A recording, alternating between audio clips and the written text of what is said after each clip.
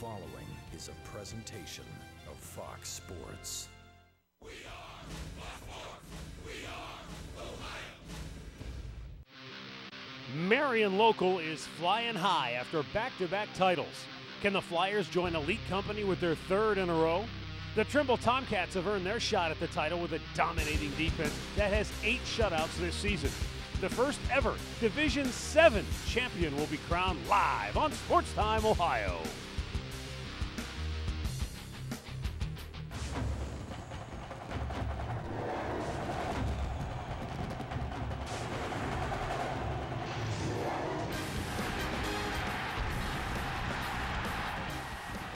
Welcome in to Massillon's Paul Brown Tiger Stadium for the Division 7 state championship game. Marion Local 14 0 on the year, two time defending state champions against the Trimble Tomcats. They also come in a perfect 14 0 on the year. They're in the state title game for the first time ever. What a matchup we have here tonight. Two tremendous quarterbacks on each side. Taking a look at Adam Bertke Marion Local. The senior is six six, thrown for over 1,500 yards, 18 touchdowns. And Frank, he missed the last four regular season games of the season due to a hand injury. I mean, these numbers that you see in high school, and Bertke right there, you see 1,500 yards passing, are just off the charts, but he's going to need time. Connor Stanley, meanwhile, one of the offensive players of the year in Division 7. Second year in a row, he's a first team All Ohio, and Coach told us before the game last year he was more of a runner. This year he's really developed the passing attack. Well, he's found his rhythm uh, this year in the passing attack, and he's spreading it around all over the field. When we look at the keys of the game for the Flyers is play your game, avoid turnovers. You can't give the Tomcats a short field. And for the Tomcats, you've got to play a near perfect game. Play mistake free, and their theme is you got to believe. Keys of the game brought to you by Wayside Furniture. Better furniture, priced lower. All right, our weather conditions, game time temperature at 20. It's going to get dipped down into the teens before we're all said and done here tonight. The good news is not much of a wind at all to speak of, so that will definitely play a factor because it should enable both teams to at least throw the ball. It, it should, and but we saw earlier in the 11 o'clock game where the quarterbacks I thought were overthrowing the ball a, a, a, a lot. And mm-hmm. that's because and they weren't getting that tight spiral. And I, I think that's because of the elements, the cold is making the grip on the football a little bit tougher. Yeah, moisture is tough to come by when it's this cold, no doubt about it. Tonight's kickoff brought to you by Time Warner Cable. Enjoy sports better. Set to kick it off for the Trimble Tomcats is number 60, John Stevens. He's a senior offensive lineman, a very good one at that. Also play defensive tackle where he's a first team All Ohioan. And if that's not enough work, he'll handle the kickoff duties as well. Back deep to return for Marion Local is Jacy Goettemoeller. And he's a game breaker in his own right. But we are ready to go here in Massillon. Stevens has it teed up. And the seventh and final state championship game this weekend is underway. Short kick, taken at the 21-yard line. Spinning away, still on his feet. Hunter Wilker. He takes it out to about the 35-yard line, and that's where the Marion local Flyers will go to work. Tonight's starting quarterbacks are brought to you by Hyundai. Adam Bertke, second team All Ohio, and 6'6, 215, scheduled to go to the University of Pittsburgh to play college football next year. Over 1,500 yards, 65% completion percentage, 18 TDs, five interceptions. And he can also run it. And Frank, he'll run it with authority, won't he? Yeah, he's a big kid. He'll lower your shoulder. He'll lower his shoulder against you. High formation. Bertke going to throw it on the run. Swings it out wide. It's complete to Troy Holman, his leading receiver. And Holman's got eight yards on that first down catch. That's his team leading 57th catch of the year, over 800 yards receiving now on the season. Offensively for the Flyers, Bertke is the center, not related to the quarterback. Chris Lochtefeld is one guard, Poeppelman at the other. Heckman and Brunswick are the tackles. Jacy Goettemoeller, over five yards of carry in the backfield. Holman, the leading receiver, you have already met him. Hunter Wilker at another wide out. They hand it off. And on the carry, it's Jacy Goettemoeller. He will not get the first down. Picked up a yard. He'll be a yard shy. It'll be third down and one. They tack you with the first down pass, and here they come back with the counter tray. But excellent job by Terry Simmerly coming from the backside linebacker and making that play. And I'm talking about, you talk about this Trimble Tomcat defense. They're very, very fast, and that's what they're going to need. Boy, they are packed in. You talk about loading the box. Two tight end set.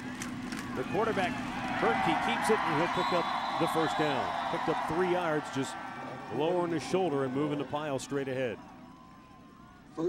Defensively for the Trimble Tomcats, brought to you by Time Warner Cable. Up front, Altier and Couch are the ends. The, the tackle Stevens and Coons along with Colin Lunsford. The linebackers Jacob Coons and Connor Stanley in the secondary. Justice Jenkins and Austin Downs are the corners. Jacob Kish and Terry Simmerly are the safeties. Simmerly, though, as a strong safety, comes down into the box as a linebacker. They'll throw it and a first down catch. Troy Holman brought it in, and they're going to mark him right at the sticks, although I thought he had forward progress. And now they will move it out. A gain of 11 and a first down. Bertke looks good with his rhythm. rhythm. Beautifully thrown ball there to Holman.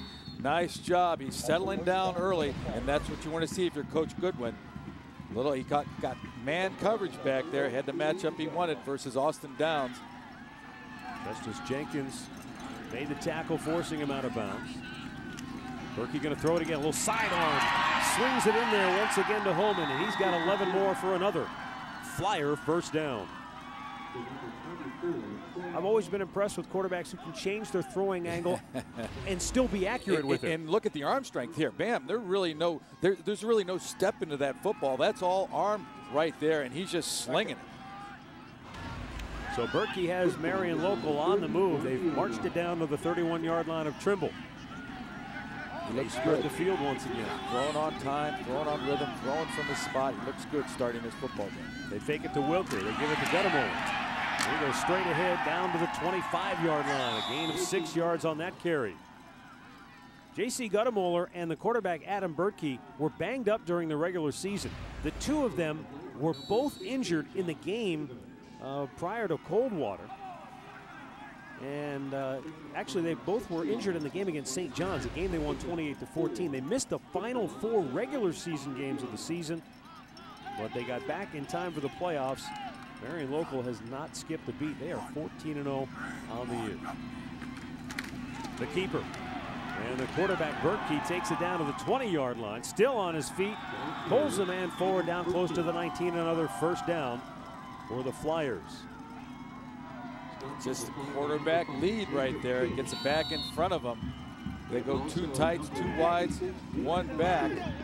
One back serves as the blocking back for Bertke. And then you know, Jake Kish comes up from his secondary, from his safety position. They call Jake Kish number five, the destroyer. Proud son of Amy Kish.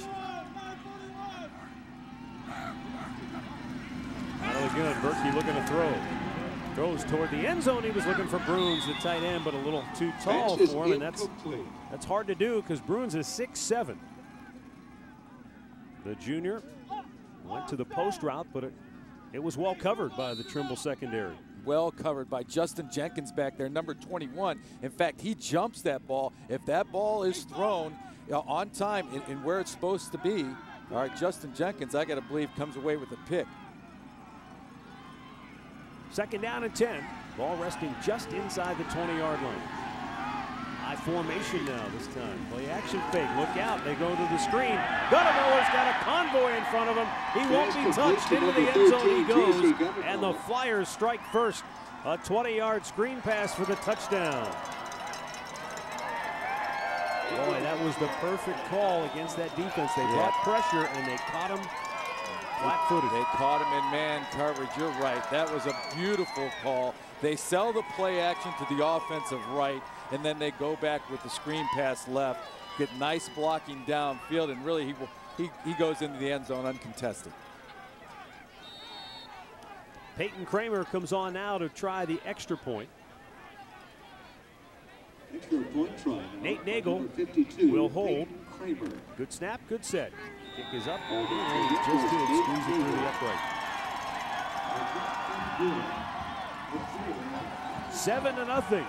The Flyers strike first on an impressive opening drive, capped by the toss from Bertke to Goettemoeller. We'll be back.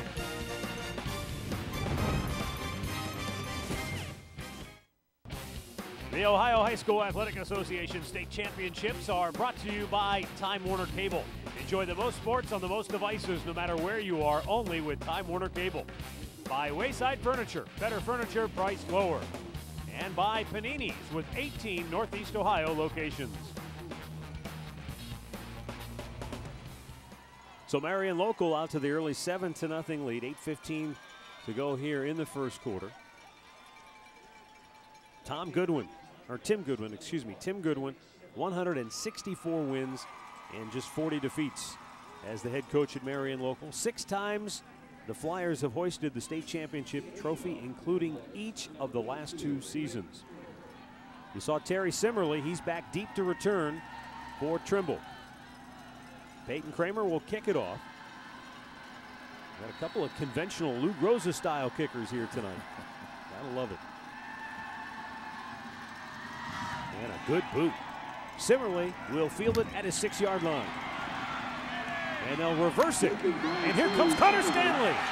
A lot of room to run. He'll try to cut it back at the 40, still on his feet. And goes down at the 45. A little razzle dazzle on the kickoff for the Trimble Tomcats.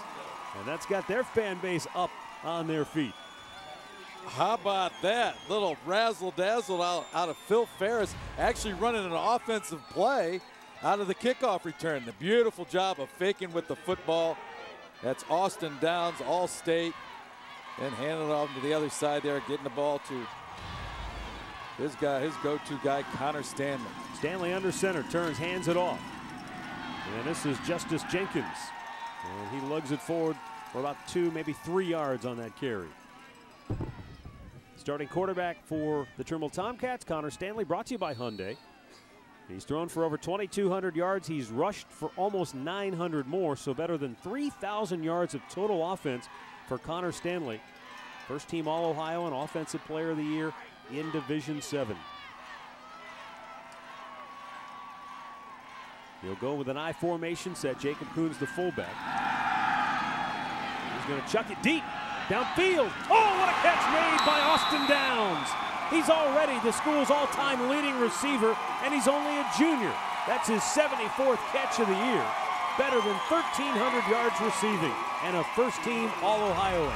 Well, we talked about Austin Downs' speed, and here you see it. Connor Stanley working off the play action. Downs gets great a route right there inside the defender, and then he peels away from him.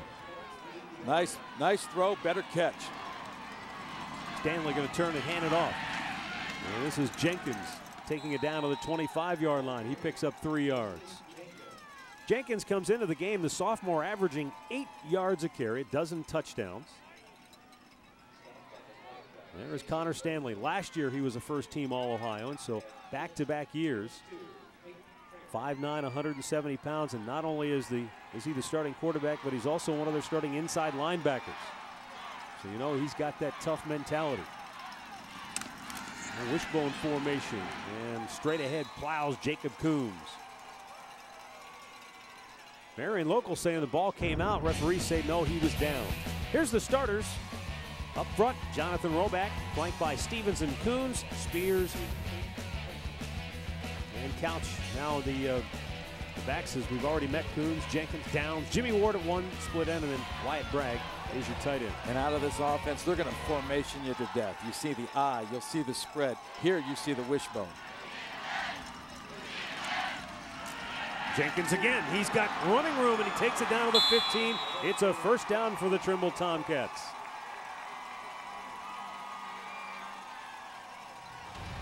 Well, it's just power right there out of the bone. And it's nice job of picking his way, staying patient, keeping your shoulders square, and picking up every inch you can. Phil Ferris told us before the game that they're a multiple set offensive team. We're already seeing it on this opening drive. Stay with the bone. And Jenkins is stacked up after a short game. Defensively for Marion Local, the nose tackle is Jason Brunswick. The defensive ends, Chris Lochtefeld, Peyton Kramer. The linebackers, Blake Benton, Joe Schwieterman, Jacob Kunkler, and Brandon Prenger. The corners are Nate Nagel and Dustin Rethman. The safeties are Adam Bertke and Jacy Goettemoeller.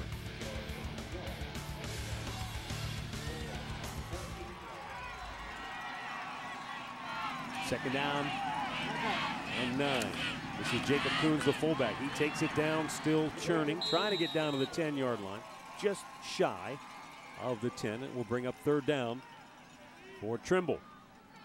In their first ever state title game, this is an offense that during the season, in their 14 games leading into the state title event, averaged 378 yards of offense per game, 40 points per contest. So they're used to marching it up and down the field and getting it into the end zone. But a big third down play here. They need the five yard line. Stanley swings it out. He's got his man. And it's complete for a first down to Austin Downs. So Downs with a couple of big catches on this opening drive for the Trimble Tomcats, and they've got it first and goal at the five-yard line. See Stanley getting the ball out on time. That's the key. And Downs, and he's well aware where that first down marker is. He low, lowers his shoulder and he picks it up. Only picks it up by a couple of feet.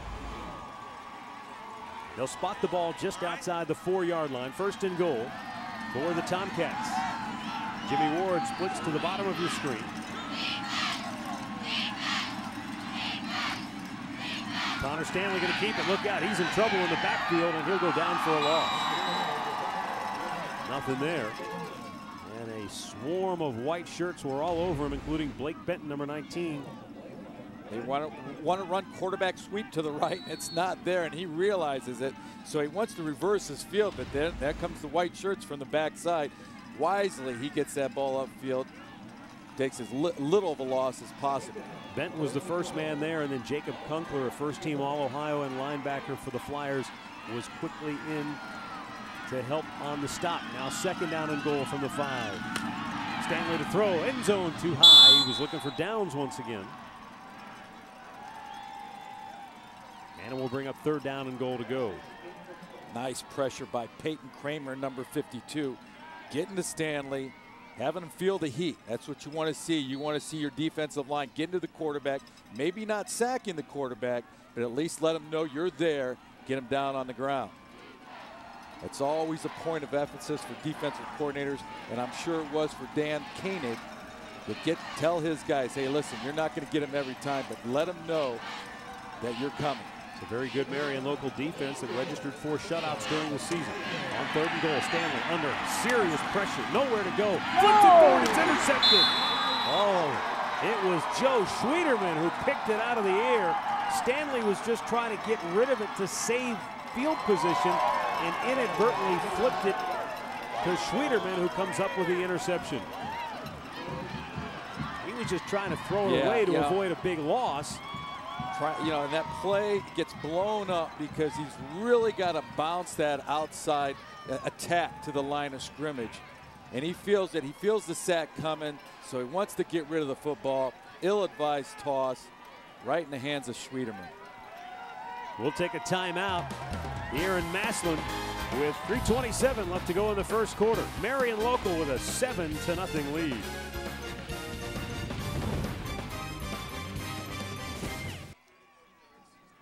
Seven nothing Marion local with a lead. 3:27 to go here in the first quarter. Well, let's introduce the third member of our team tonight, Lindsay Raleigh.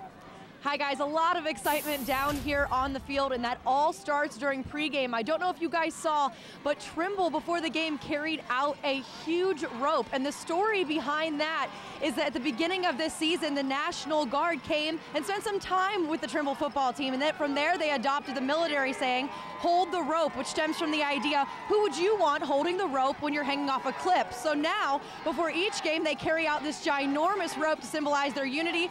Coach Ferris said he's very supportive of the tradition, but he did admit that if the team would have had a few more losses at the beginning of the season, he's pretty sure the rope would have ended up in the river, but it's been working so far. So we'll see if it helps him out here tonight. Matt? got to continue to hold that rope. Thanks a lot, Lindsay. And on the first down carry, rushing it out there for a gain of about five, maybe six yards was Jacy Goettemoeller. A great symbol of trust right there with the rope. See the toss on that play. Gets a nice block on the perimeter from number 20, Austin Albers. on that, comes down and cracks inside. He cracks Stanley, who plays middle backer for the Tomcats. Second down and five from the 15. Well, actually, the ball resting at the 14 yard line, so call it second and six. Bertke going deep.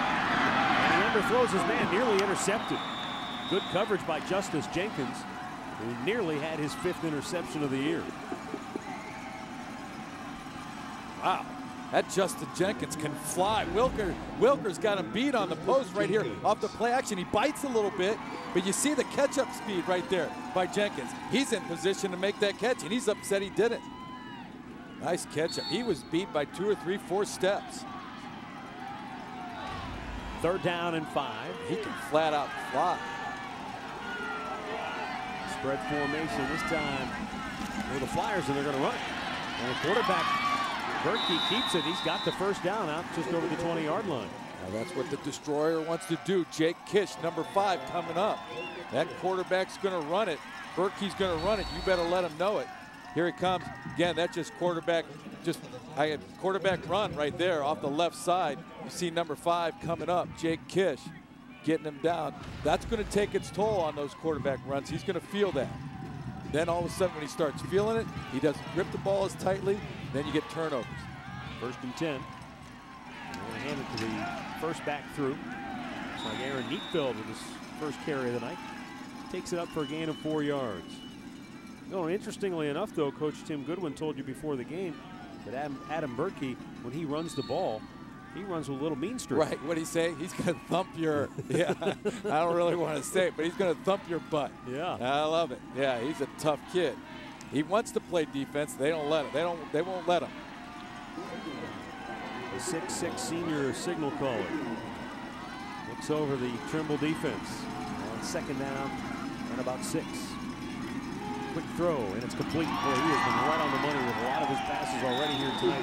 That's Troy Holman again. Well, you see what Pitt likes in Bertke right here. Just a nice setup, strong arm. Bam, he just whips it in there. Beautiful timing on that slant route to Holman. Good gang tackling in that secondary by Trimble. Jacob Kish coming up to finish him off. But not before. It's a first down out to the 35-yard line. Here they are on the move again. Another first down since the turnover. That's two.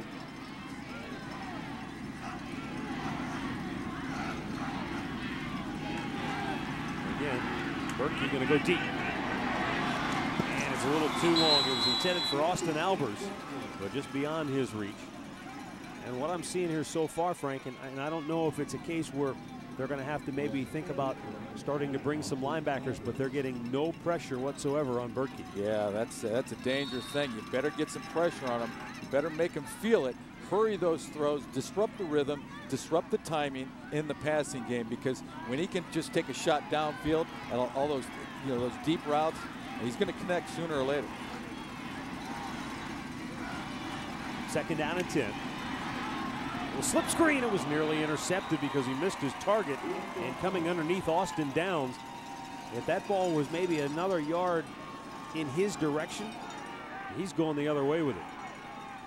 That's the danger with the Yeah. slip screen. It only takes one guy to read it, and it can really blow He's up in trying to get the ball to Wilker here, number 21. It gets a little lazy with his delivery right there. Just not great mechanics and just slings that ball out there. Set your feet a little bit.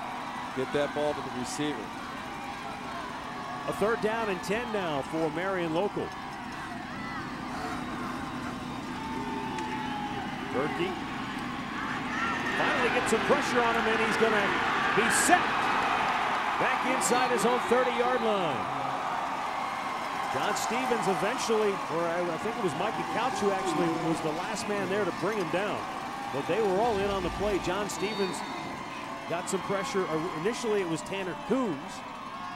I think just about everybody on that defensive line got a shot Well, on him at one time or another. And speaking of everybody, the the the uh, Flyers sent five out in the pattern, and the secondary does a, a fantastic job of covering all five of those receivers, and then allowing the pre- pressure to get the break. Rustin Redmond with a pretty good punt. Oh, but it goes out of bounds. And let's see where they mark it out of bounds. This is going to work out very well for Trimble as that ball went out of bounds at the 49-yard line of Marion Local. So the Tomcats will have very good field position for their second offensive possession of the night. Yep, for the second time in a row. You saw the, the, the first first possession had very good field position off the kickoff return, a little trickery that we saw. And now here they start they start again in Marion Locals own half of the field. Connor Stanley. All kind of a, a Yeah. pistol formation, huh? We'll run the sweep near side, to throw it. And he hit Downs right in the hands with it, but Downs might have been looking upfield before he secured the catch. And, and that's exactly that's exactly what he was doing. He was looking downfield before you know he caught the football. And we talked about them playing mistake-free uh, football tonight to get them to have a chance to win this game. They've got to execute. Same thing, mistake-free, execute. Right there, they're not executing by catching the football.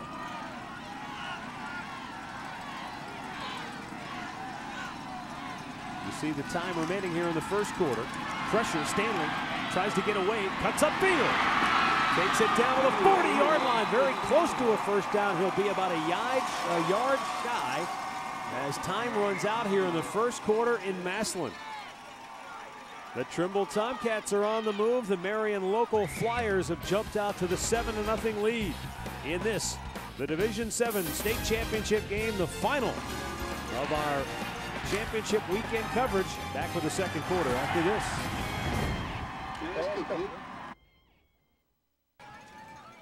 Before we start the second quarter, let's go downstairs to Lindsay Rowley. Thanks, guys. I'm down here with Jeff Jenkins, Chief Financial Officer of the OHSAA. Now, Jeff, playoff, football playoff revenues are so important to the OHSAA. Tell me why these revenues are so important. Absolutely. What a lot of people don't realize is, is that we're not a taxpayer-funded organization. We get all of our money, about 75% of our money comes from tournaments just like this.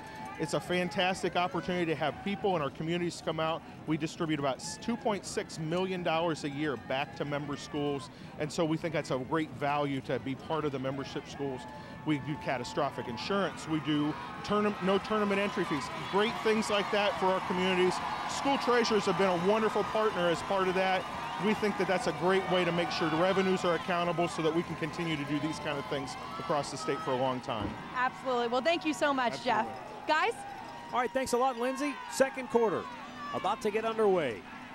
And the Trimble Tomcats faced with an important third down and one from the Marion local 40-yard line. One back in the backfield, and it's Jacob Coons who gets the carry, and he muscles his way forward for the first down, taking it to the 38-yard line of the Flyers. Let's go back and take a look at the final play of the first quarter. Connor Stanley under duress, but he tucks it and takes off. He does here a little half roll, trying to get the ball out to the perimeter.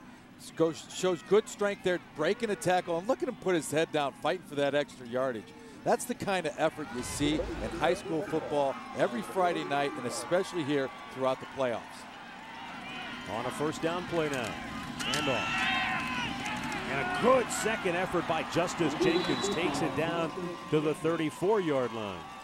Looked like he was stopped initially, Frank, but you keep the legs moving, You good keep- things can happen. That's exactly right. I mean, what is this off tackle right here? That's as simple as it simple as it gets right there. But what you're looking for as a head coach, you're watching the effort up front, the push. He gets a nice push. The effort by the back right there. The second effort you see, the yardage after the contact, and it's there, and it's got to make Coach Ferris happy. Second down and five. High formation. Jenkins trying to get outside. He won't do it. Good defensive coverage that time. It was Blake Benton from his outside linebacking position. And And just closed the gap on him. And conversely, what you want to see now that the Tomcats are driving, you want to see how your Flyers respond. And right there, Blake Benton creating a hard edge and making that tackle for a loss. There's the support there by Kunkler as well. Good team defense. A first team All Ohioan, came into this game with 129 tackles on the year. Third down and 10 for Trimble. And Phil Ferris will take a timeout. He figures, you know, this is kind of a big play early in the game, second quarter. They had a very good opening drive that, that stalled deep in Marion local territory and on a Third down play, inadvertent flip pass by Connor Stanley was intercepted. We're looking at the tape on that play. He was trying to make a play to Austin Downs, but the flip just went awry on him mm-hmm. and ended up in the hands of Joey Schwieterman. Now, it's important they stay close.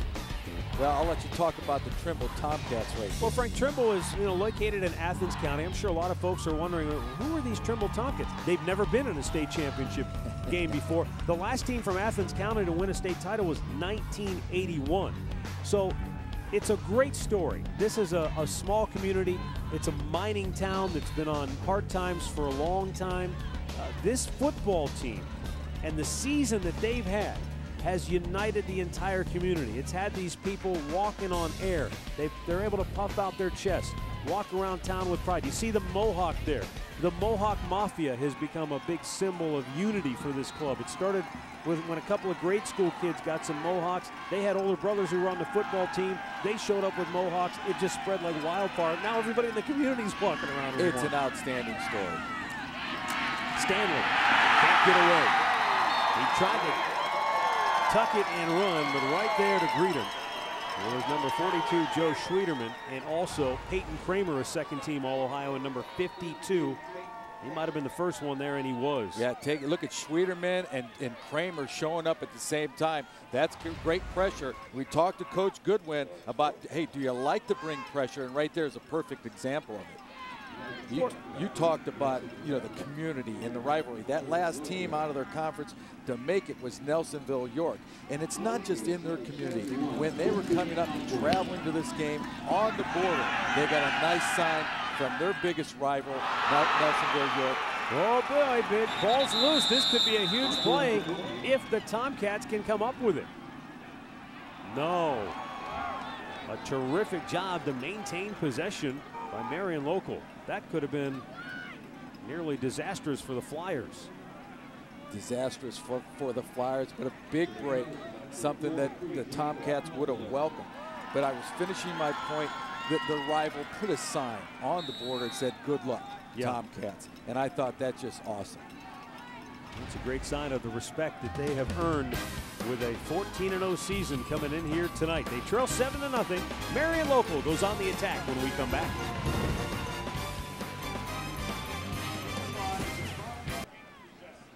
Marion Local with the lead. They've got the ball. 9.35 to go here in the first half. Right now on FoxSportsOhio.com. The Cavs bounce back from last night's tough loss in Atlanta.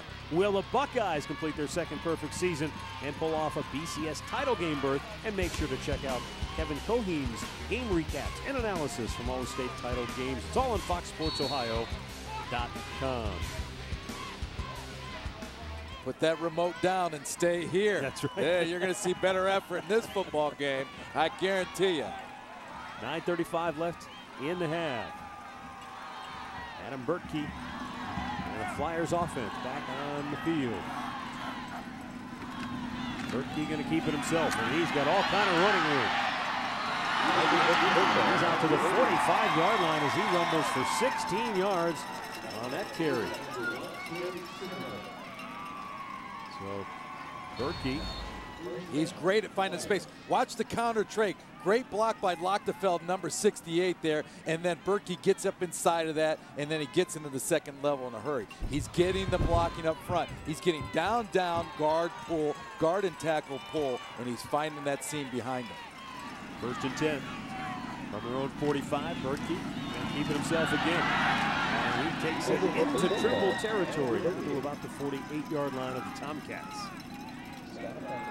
Adam Bertke, according to his head coach, Tim Goodwin, is, quote, a tremendous person. He's a stud on and off the field. He says he's what you want your son to be and your daughter to date. He is absolutely clutch, end quote. That's from his head coach, Tim Goodwin. Obviously, big reason why the University of Pittsburgh wants him. Talking about somebody, somebody's daughter doesn't get any better than that, huh? A stronger compliment out there.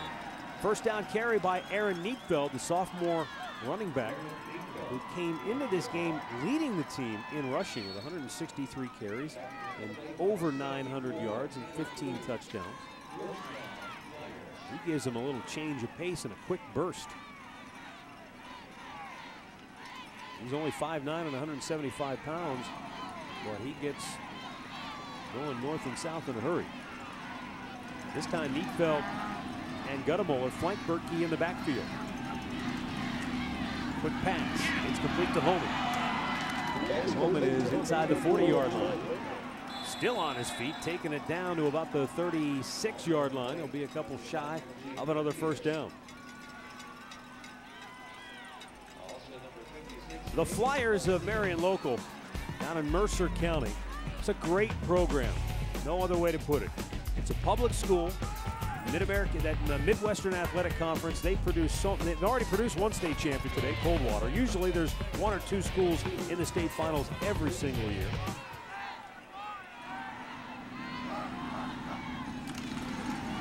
Makes the handout. Bertke gonna go deep. He's going for Holman, and he overshoots him inside the five-yard line. The town is actually Maria Stein, Ohio. The school is named Marion Local because they draw from a couple of different communities, but they're all very small communities. It's a former collection of one-room schoolhouses that was eventually consolidated into one high school. But uh, you talk about some tough kids year in and year out. I'm glad you explained that because I had some questions. Mary, Mary, Maria Stein and, and Marion Local. I mean, you know, what's the makeup there? And of course, you mentioned the Midwest Athletic Conference. There, there's not a better conference in the state of Ohio. They defeat Coldwater, just won the Division Five state championship. Bertke gonna try to run it himself. Good convergence by the red shirts, but look at Bertke. He still just lowers the shoulder and picks up four, close to five yards. He had nowhere to go, still gets the first down. Uh, he's not giving up on this play right there. The quarterback design run right there. The quarterback roll, and then he just decides, bam, to cut it up inside his blockers. That's just toughness. You talk, it's a thumping there he's putting on the defenders. At the 32-yard line, a first and 10 for the Flyers. They lead it seven to nothing. Bertke another quick pass. This one is Wilker. Hunter Wilker hits it outside, but he is tackled down just outside the 25-yard line, and it was Connor Stanley from his linebacking position who got over there, got an ankle, and wouldn't let go. You're seeing a balanced attack by the Flyers. They're doing a, a nice job of mixing the pass and, and, the run together, moving this ball down the field. But on the other side, the Tomcats, hey, they're they're keeping they're staying out of the big play, and that's important. They're making the Flyers earn everything they get. Now they spread the field on offense. Pitches it to Goettemoeller. Inside the 20. Hurdles his way down to the 16-yard line. He was upended by Jacob Kish, but not before he picks up another flyer first down. And well, I'll tell you what, Bertke got rid of the ball just in time. He certainly did. And then, you know, Jacob Altier makes him execute the option, and he, he options it very well to Goettemoeller. A first down at the 16-yard line. Clock moving. We'll go under six minutes before the snap here. Goettemoeller again inside the 15. Hit 12 balls loose. It's picked up by Trimble and they've got it back at the 14-yard line. I'll tell you what, if Justice Jenkins stays on his feet, he's still running. But Trimble will take it. Had he not stumbled, he would have gone all the way for a touchdown. But just the same, they keep Maria Stein out of the end zone, and they get the football back. Watch number 20. Just couldn't quite stay on his feet. Watch Jake Kish come up here right there. Bam! That's the initial contact. And then from behind, that's 56 Altier forcing the fumble. And then I believe you said that was Jenkins, right? Yeah. On the pickup. Little reverse play. Going to try to throw it, and it is snuffed out and buried back inside the five-yard line. My goodness.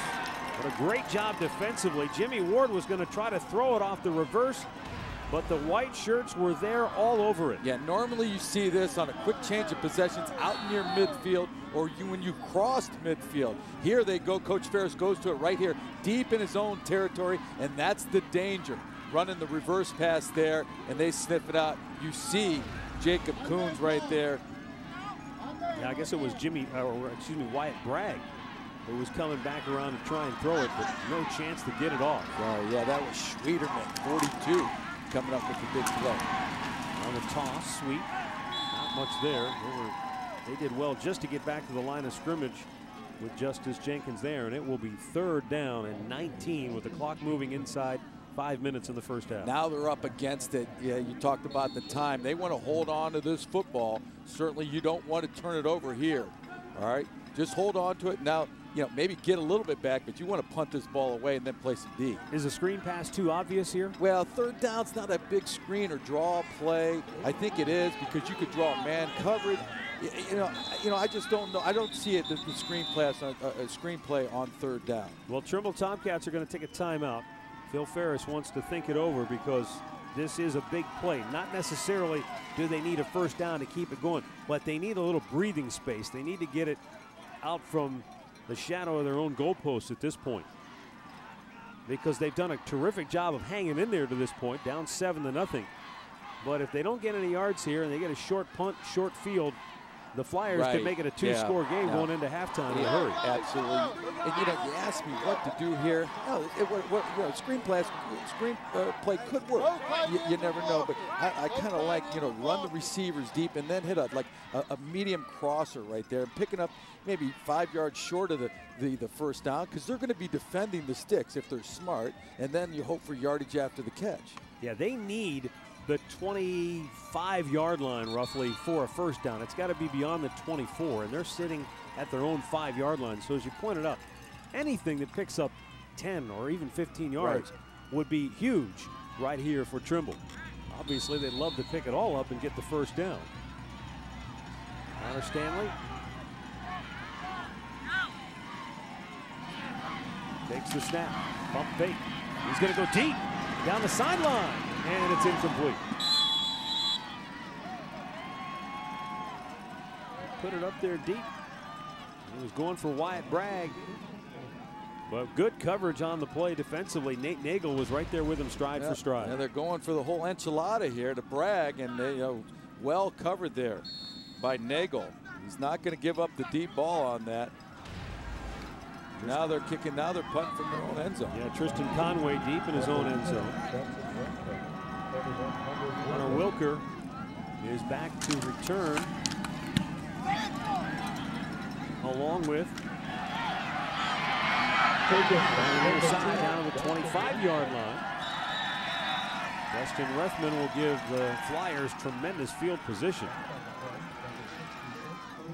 All right, so with 4.09 left to go here in the first half, the Flyers have the ball back, and Adam Bertke goes back on the attack when we return.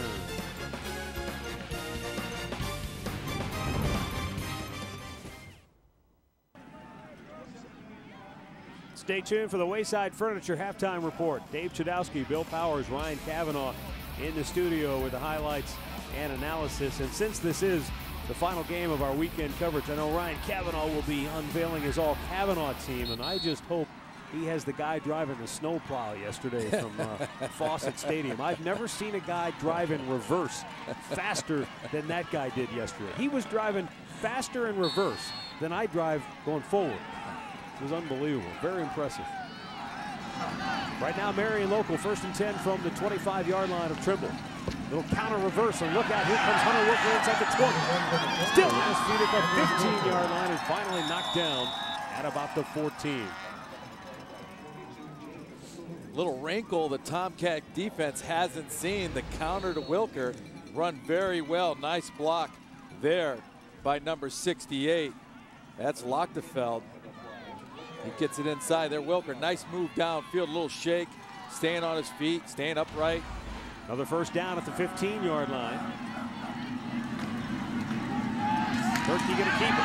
10, 5, and out of bounds. Where did he step out? And a penalty flag. This one's coming back, I do believe. Either got a hold or an illegal block. I think a hold. And that is the initial call. Costly penalty. He's going to back him up, put him around the 20, 25 yard line versus the two yard yeah. line. They would have had first and goal at either one or the two yard line, depending on where he stepped out. Instead, it's all the way back to the 22 yard line. So now with 3.38 left in the half. Coach Goodwin knows it. You see it there, pacing the sidelines. Now can Trimble take advantage of what appears to be a pretty good break for them. Bertke. They run the screen. Goettemoeller shakes a couple of tackles, but he gets hammered down at the 20-yard line. Connor Stanley in on the stop along with Jacob Coons, first team All-Ohio linebacker. But watch this Tomcat, the Mohawk Mafia defense collapse. There's Simmerly right there. He shows up, and then you see the rest of the guys there. Stanley showing up as well. Kish there. I mean, they, those guys just, they, they swarmed to the football. Jacob Coons registered over 200 tackles in 14 games that Trimble played coming into this one. He's usually around the football. This, this is a defense that pitched eight shutouts this year. Bertke keeps it, takes it down to about the 15. So he's back to the original line of scrimmage, and it will be third down and 10. Under three minutes to go here in the half. And we got plenty. Time's not an issue with 240 and counting. Almost looks like they're going to take a timeout here. They'll let the clock run down, and they will take a timeout with 2.29 left to go here in the first half. They've got a third down and 10 at the 15-yard line. And we'll see what they decide to do. If it's go for the end zone, try to get something inside the five to pick up a first down. Hey, don't forget to follow at SportsTime Ohio and the OH Champs hashtag on Twitter. Tell us your top plays, which players have stood out, deserve to make the All Kavanaugh team. Make sure you tweet to Ryan. Put the snowplow guy on the All Kavanaugh team, and that'll be announced after our game tonight.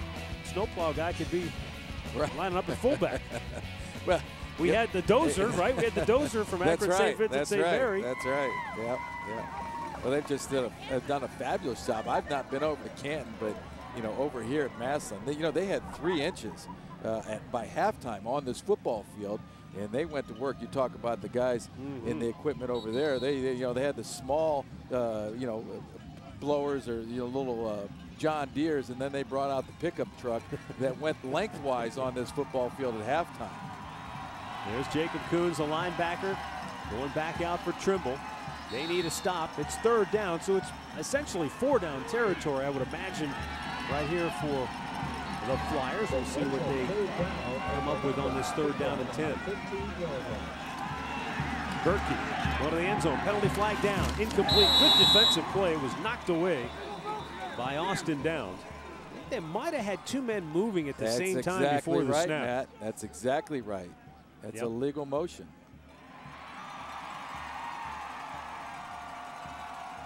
So that's going to back them up five more, or they could decline the penalty and make it fourth down. That's what they'll do. So it will be fourth and 10 from the 15 yard line, and it looks like they're going to attempt a field goal here. Can't disagree with that. Come away with some points. Peyton Kramer will line it up. Go up two scores.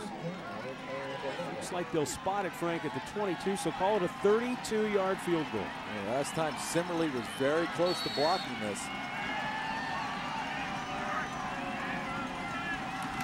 Snap, good set, kick is up. No good. So another good hold for the Trimble Tomcats. They, wow. They've been they're like a, a, boxer in a heavyweight fight. They keep bobbing and weaving, and they're hanging in there. They're not on the board yet. They're going toe to toe, and like you said, they're still standing. Coming into this game, the underdog. Defense bent right there, but did not break, did not give up any points. And if you can build on anything at halftime going in, Coach Ferris will certainly recognize that defensive effort. All right, with 2.20 left to go here in the first half. The Tomcats take over. Connor Stanley. High formation in the backfield. Marion showing blitz. Jenkins picked up about five, six yards before he was driven back and in on the stop. That's the quarterback, Adam Bertke.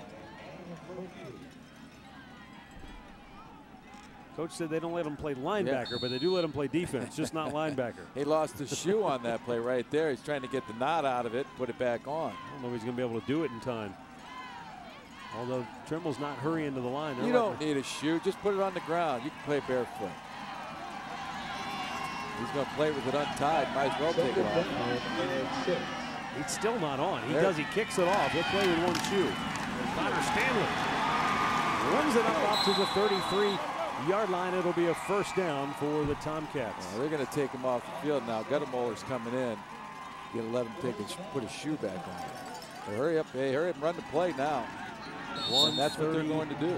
Five and counting now as the clock starts again on the first down play. Stanley going to run it straight ahead. He takes it out to the 43-yard line. Well, he just puts his head down like a fullback. And Yeah. Coach uh, Phil Ferris told us before the game, he said, you know, if we'd have had, we had somebody else maybe that was a better quarterback, he said, we'd probably put Stanley at tailback. Yeah. I mean, that's how good a runner Yeah. he is. But he's developed into such a good passer this year that it's it's made this offense really go to another level. He pump fakes. He's going to go deep. On the sideline, jump ball, and it's knocked down. Good coverage there. Austin Downs, the intended receiver, but Dustin Rethman, a second team All Ohioan in his own right, was with him stride for stride. Yeah, nice coverage by Rethman there. And Austin Downs trying to trying to shake uh, Rethman off a little bit with that little shoulder move. You saw it. Rethman's having none of it. Good position there. Shoulders back to the cornerback. Vision. He's playing the football. Nice job. Good discipline there in the secondary. Yeah, and, and as a corner with a minute left in the half, you can't bite on a fake there. Well, you see the corners right now. They're going to cushion the receivers. They're off about five yards. Down here, number eight, Nagel. He's off about 10. Stanley keeps it himself, couldn't get away. Takes it out over the 40-yard line, and it will be fourth down. Timeout burned here by the Flyers, and they'll have one left. A very smart team, uh, you know, the, the Flyers. Well coached. And we talked, mentioned the defensive coordinator, Dan Koenig. He's got these guys prepared well. And of All course, right. Interesting situation, though. It's fourth and two. If you're Phil Ferris with 53 seconds left, do you go for it? Because if you don't get it, you're going to give them a short field with you know, four, maybe 40 seconds to go and a half, or do you just Right. punt it away and play it yeah, safe and here? I think the risk reward right now is balanced. You know, when you're moving the sticks versus giving them the ball with great field position. I think you go for it. I think you hurry up, run to the line of scrimmage, try the hard count. Do we have any timeouts left? Well, they got one Mm-hmm. timeout. I don't know if you burn it. Uh, but you, you go up there, run to the line of scrimmage, try the hard count, then certainly have a play. But what they do well uh, is get to the line of scrimmage in a hurry in their run game. They play extremely fast. And I think that's what, well, I know that's what's keeping them in this football game. All right, so we'll see what the call. It looks like they're going to go for it. You I got don't see a yeah, punter out there. They won't huddle. They'll run to the line of scrimmage and get set up. And that's exactly what they do. Stanley goes under center. Fourth and two. Trying to hard count, trying to draw him off. Nothing doing so far. And now they call the timeout. So that was the idea. Got to get him to jump. They weren't biting, and now they'll, in all likelihood, punt it away. And, and I love the, the play action. You know, in short yardage, goal line situations, I love the play action because it really puts the linebackers in a bad spot. Uh, they've got to defend the run, then all of a sudden, man, when they realize, uh-uh, he's throwing the football, you've got to turn and get out of there, and it's just very difficult. Remember that because I want to bring this up later. Okay. First, first though, we're going to take a look at the Trimble uh, All Ohioans, and they've got a slew of them. First teamers: Austin Downs, Connor Stanley, John Stevens, Jacob Coons, and of course Micah Couch was a third team All Ohio selection.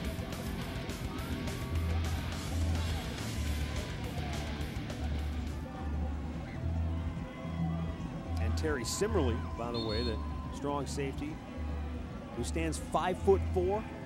Talk about a kid who plays with a ton of heart. He was a special mention All Ohio. Going to punt the ball now. Yep, Tristan Conway back to away. 53 seconds to go in the half. Come after it, and they almost got to it. Gets it away. Hunter Wilker going to let it bounce, and it will go out of bounds at the 29-yard line. 43 seconds to go in the half. Smart decision by Coach Phil. That ball, make them travel another 30 yards with 43 seconds. Especially the way your defense has played. They've come up with some big stops. Sure. They, they've bent, but they haven't broken. Don't Right. don't put them in a That's bad right. spot now at the end of the half. Don't put them in a, put them in position to win. That's what coaches are for. And there they do it with the punt. Smart play. You're still one score. It's nothing. You're you're still in this football game. Two scores. Yeah, You know, I mean, you- you're still in the game, but you're playing catch up. Flyers do have one timeout remaining. And remember, the clock stops on a first down. Launching it deep downfield, and it was nearly intercepted. Great coverage once again. Austin, excuse me, Justice Jenkins was all over his man. There was good safety help as well. Yeah, now you see the confidence that Coach Goodwin has in his offense coming out, rifling that ball downfield, trying to make a play. Good job by Jacob Kish coming over to Yeah. hammer the intended receiver, take him out of it, and they were looking for Ryan Bruns. That's the big guy. What's he stand? About six six, Six seven, Jeez. six seven, two oh five junior. Talk about a mismatch. I think you know, Jake Kish is the biggest defender in the uh, Tomcat secondary. He stands 6'2". Bertke. Quick throw out to Hunter Wilkins. And he'll get the first down and duck out of bounds at the 40-yard line with 32 ticks of the clock remaining here in the half. It's just a very efficient offense uh, Coach Goodwin has. Uh, right. I mean, they just do so many things well. You know, it's play action, run, quarterback run, uh, getting the ball downfield, and yeah, just very impressive. No This is an wonder they- offense that during the regular season averaged 37 Right. points a game. In the playoffs, they're averaging 46. Right. And they've taken it up a notch. well, it shows you how tough that conference is. No doubt. First and 10. Bertke. Oh, what a gun. Perfectly thrown past to Hunter Wilson. On a- that was a frozen rope up to about the 43-yard line of Trimble. Yeah, and frozen rope, and you'll see here innocent traffic. I mean, it's pretty good coverage. You see Kish working over from a safety position.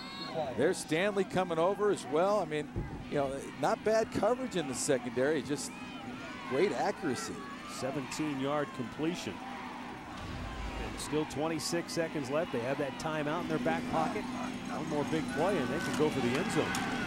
Bertke slings it downfield. It, it is. Did he hold on to it? Oh, my. A sensational catch by Troy Holman in traffic. He got hit. The ball was coming out. Somehow he held on. Watch the toughness of Holman. They're working over the middle, but he knows he's going to get hit, so might as well catch the football, huh? They snap it quickly. Going to the end zone. Going for Bruns. It's caught inside the five, down at the three-yard line. They go to the jump ball, and the big man comes down with it. And there are nine seconds left in the half. Flyers still have a timeout remaining. Yeah, the bigger Bruns, the six-seven Bruns, working against the smaller Stanley, maybe stands about 5'10". That's like you said, the Bruns an excellent basketball player. That's just a jump ball situation right there. Nine seconds left in the half. Bertke, The quarterback. quick throw to the end zone, and it's knocked away nicely by Justice Jenkins. He was going for Holman, but Jenkins was right there with him, and textbook coverage as he swatted it to the ground. Take a look at it here. See the arm strength by the quarterback, Bertke. He just stands flat-footed and slings it out there. But excellent coverage That only took two seconds off the clock. By Jenkins. Just nice job of timing that, not interfering with the receiver for a key pass breakdown. Seven seconds left in the half. Bertke runs it, and he's into the end zone for the touchdown. Jacob Coons couldn't bring it down, and Bertke powers his way to pay dirt, and it's 13 to nothing. Flyers.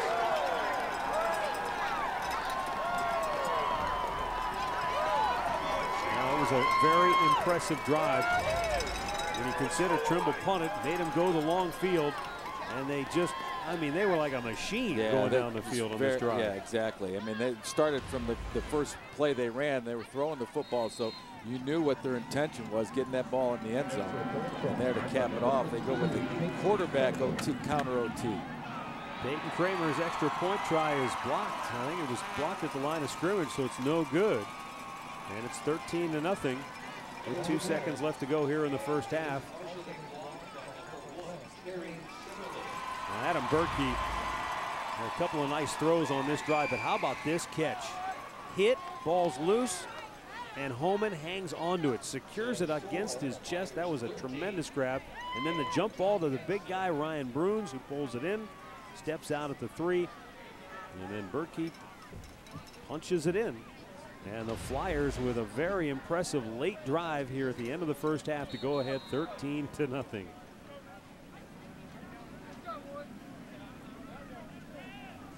There are 92 boys who attend the school at Marion Local.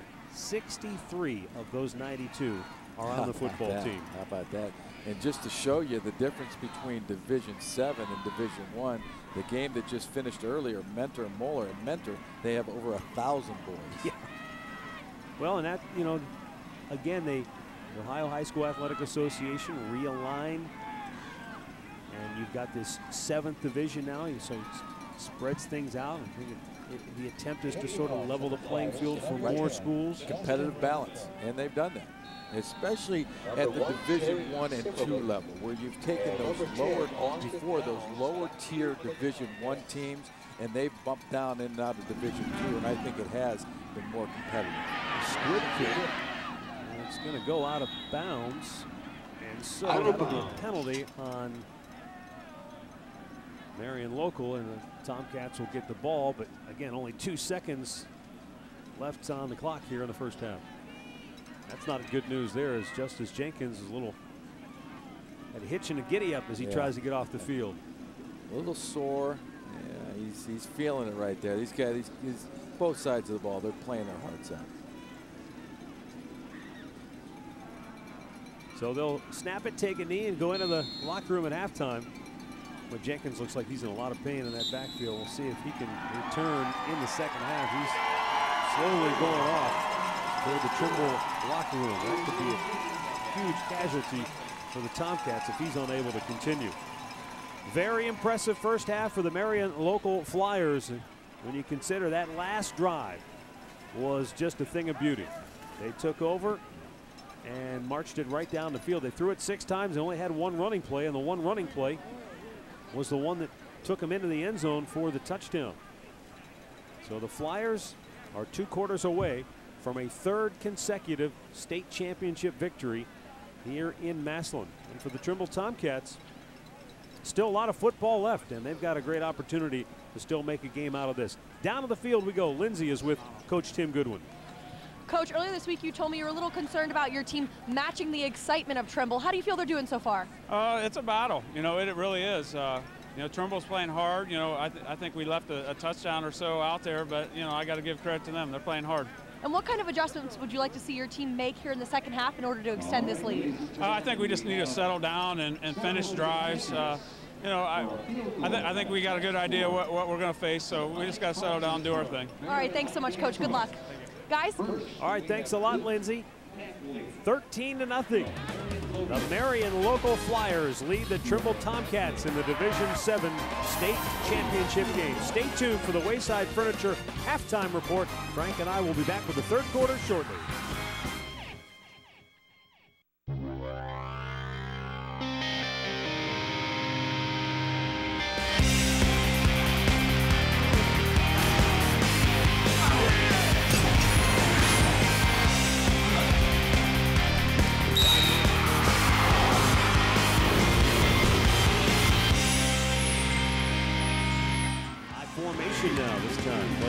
Fake. Look out. They go to the screen.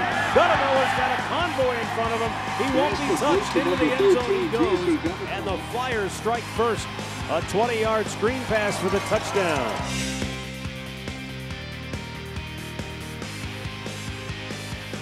The first of two Marion local touchdowns in this low scoring affair so far in the first half of the Division 7 state championship. Marion local up 13 0 over Trimble as we only have one half of football left to play in these seven state championship games over three days. Hi, everyone. Welcome to the Wayside Furniture halftime report. Wayside Furniture. Better furniture, price lower. Dave Chudowski with you here in the Hyundai Studios. Coach Powers, Ryan Kavanaugh. Guys, what do you think of this first half? Coach, I'm going to send it over to you. Do you think it's a sense of uh, one team playing with more urgency than the other, but the one not playing with a ton of urgency seems to be the team that's winning? Yeah, I'm watching Marion local out there, and it, it's, it seems like they're a little bit complacent. They're not putting any, any sense of urgency, any bit of tempo. Their tempo's kind of even slow. And then you look at Trimble on the other hand, that's clearly a team who is playing with their hair on fire right now. Every single play is important to them. They just don't match up talent-wise, but emotion-wise and, and fire and want to, I think they are exceeding what uh, Marion Local's doing right now. Yeah, the hair on fire because of the red mohawks. That's what talking about. But I agree with you. And here's the key for Marion Local. Yes, they're winning the football game. I think personally, they could run the ball on Trimble all the way up and down the field, and they've done a lot of passing, try to mix it in. Also important, when you're playing a team like Trimble, who thrives on emotion, who is here on an emotional upswing, and clearly they're the underdog in this game. You don't want them to hang around, and right now they are.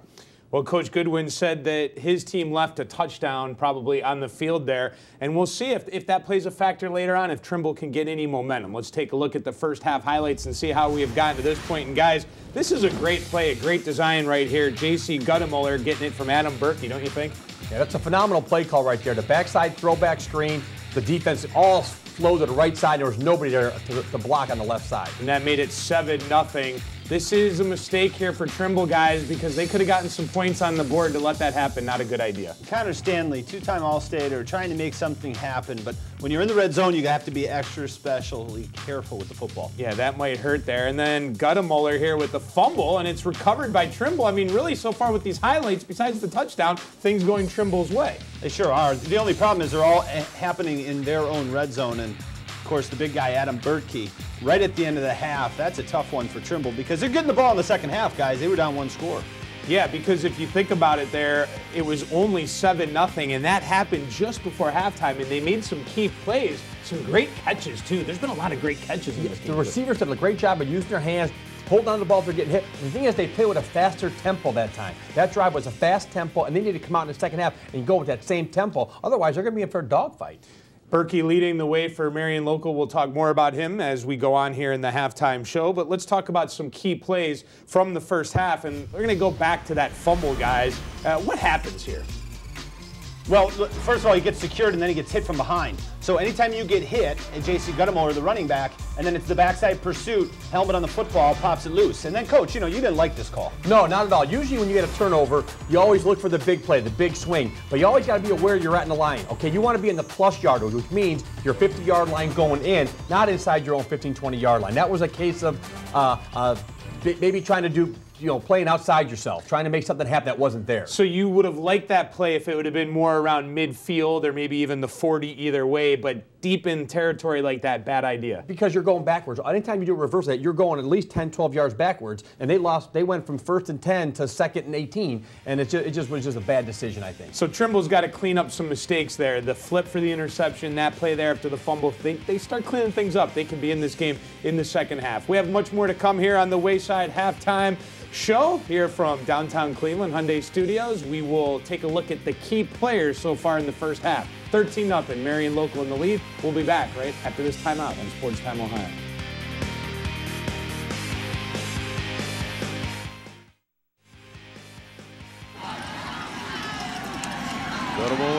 again inside the 15. 12 balls loose. It's picked up by Trimble, and they've got it back at the 14-yard line. And Trimble not able to take advantage of that Marion local fumble as right now at halftime, it's Marion Local 13, Trimble nothing. This is the Division 7 state championship game, the final of seven here over Thursday, Friday, and Saturday. Marion Local trying to go back to back to back as we have five teams trying to go back to back. Four of them have already done it. Marion Local one half away from going back to back, and as I mentioned, making it three in a row and bring home another state championship to the mighty Mac. I'll tell you, we've seen today with Coldwater and Marion Local why this conference is so tough, right? Yeah, we always said, you know, we said the regular season schedule is so difficult, the playoffs become easy. Coldwater showed it, and now it looks like Marion Local's going to do the same thing. Let's take a look at some of the key players in the first half in this one, and we'll start with the team in the lead, and that's Marion Local and their quarterback, Adam Bertke. And we've definitely seen some signs of why he is so good so far in the first half. Yeah, you watch him, he makes all the throws. He's six foot six, he's got a rocket of an arm, and it, it seems sometimes, again, like maybe the game's too easy for him. He had a few throws that should have been intercepted in this first half, a little nonchalant throws to the outside that uh, I, I think it's because the game does come so easy to him. He takes for granted some of these throws. I'm, I'm telling you what, I'm very impressed with what I see. And, I, and I'm even more impressed from the progression of last year. He was a standout, but right now he's matured physically, he's bigger. You see, he still has that movement to get downfield and run. But you mentioned his arm. I mean, this is the best passing quarterback we've seen all weekend, and it's in Division Seven.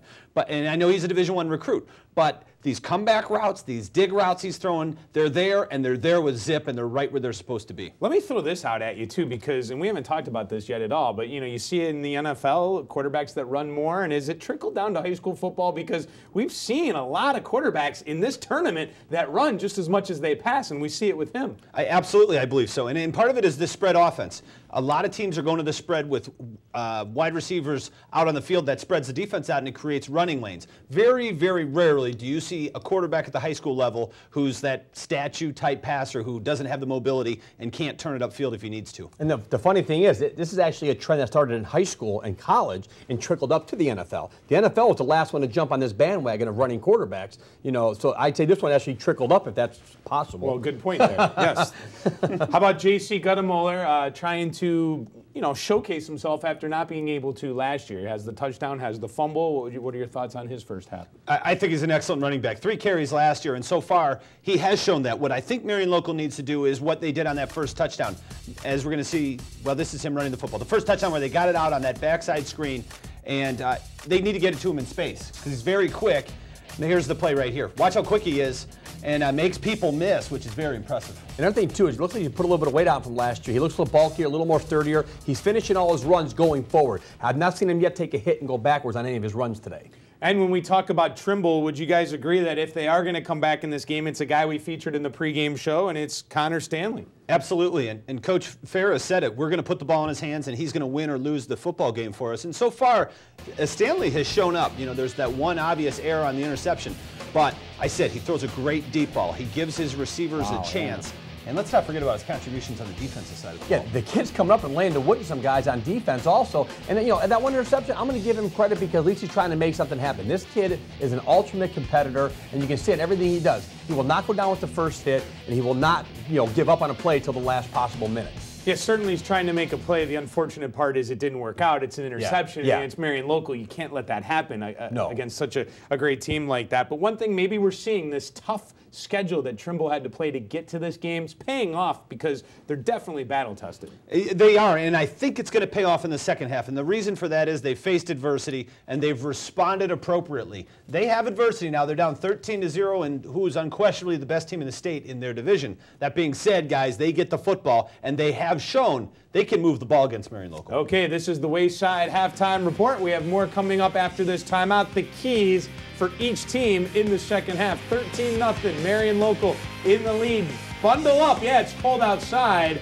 Get your refreshment uh, inside. We have one more half of football to go. We'll be back after this timeout in Sports Time Ohio.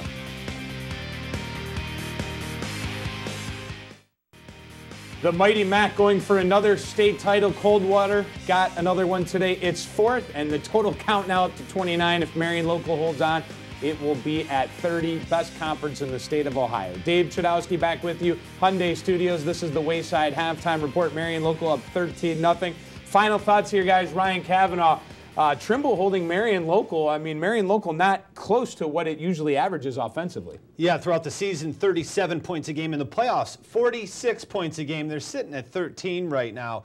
If I'm Marion Local, the key to the second half is pick up where you left off. Do exactly what you did to close out that first half. That's Adam Bertke's arm and Adam Bertke's legs. Steady diet of Adam Bertke gets you in the end zone. I'll tell you what, that 13 points shouldn't be a surprise because Trimble's defense had eight shutouts on the year, gave up 37 points in the regular season. So their defense is solid. We know that. But the key to this game is going to be the first five minutes of the second half. If Trimble cannot can get something going, get points on the board, get momentum going, and prove they can score offensively, we're going to have a ball game in our hands. If not, it could be a long night for them. And coach, as we've talked about, this guy's amazing to watch football with, isn't he? His He's prediction, the way he game. sees football, he calls halfback passes, they happen, everything, onside kicks, whatever. For Coach Powers, Ryan Kavanaugh, I'm Dave Chudowski. We'll see you post game as we head back out to Matt Underwood, Frank Stams with the rest of the call, the D7 state title game, 13 0 at halftime. We'll see you after this game goes final.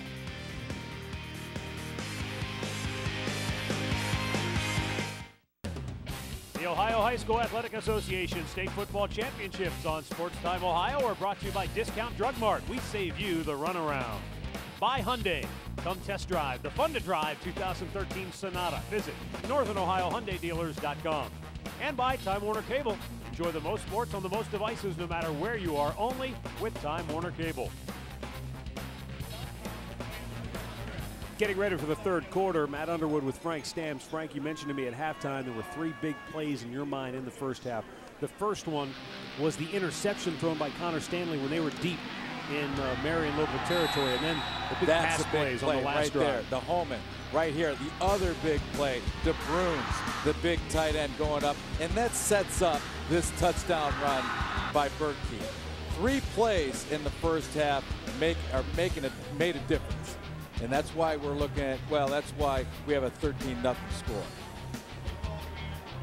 Well, I, obviously Trimble needs to do a little better job of making some headway on first down. Just one yard, uh, averaging on first down. So that obviously puts you in second and long, third and long situations. Right. Yeah, I mean, you talk about the explosive plays of the plays of 10 yards plus. Look at Marion, 10 of those. Yeah, they've got 10 plays of 10 plus yards. And then Trimble, it's just hard yardage out there. They're fighting for it. And just not after that first drive, which was outstanding, they've not been able to get anything going. What do the Trimble Tomcats need to do to get back in this football game? We'll see if Lindsay got any answers from Trimble's head coach, Phil Ferris.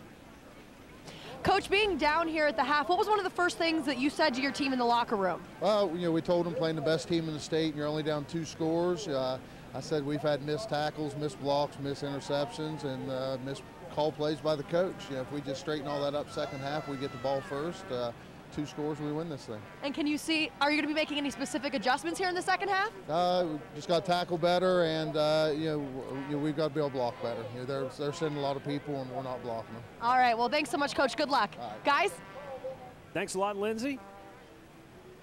Well, I mean, And he's right. It's pretty simple. Yeah, he's real simple because I tell you what I've seen throughout the playoffs, Matt, is poor tackling. Well, let's revisit our keys to the game brought to you by Wayside Furniture. Better furniture price lower. And for the Flyers, they're playing their game. That's a pretty good first half right there. 236 total yards and only one turnover. I am sure they wish they had that back, but the Trimble Tomcats, they've got to play mistake free. They didn't do that. They had the ball inside the red zone. They're going in for the score. Came up with the interception, and uh, you know that's just too costly. That takes points off the board.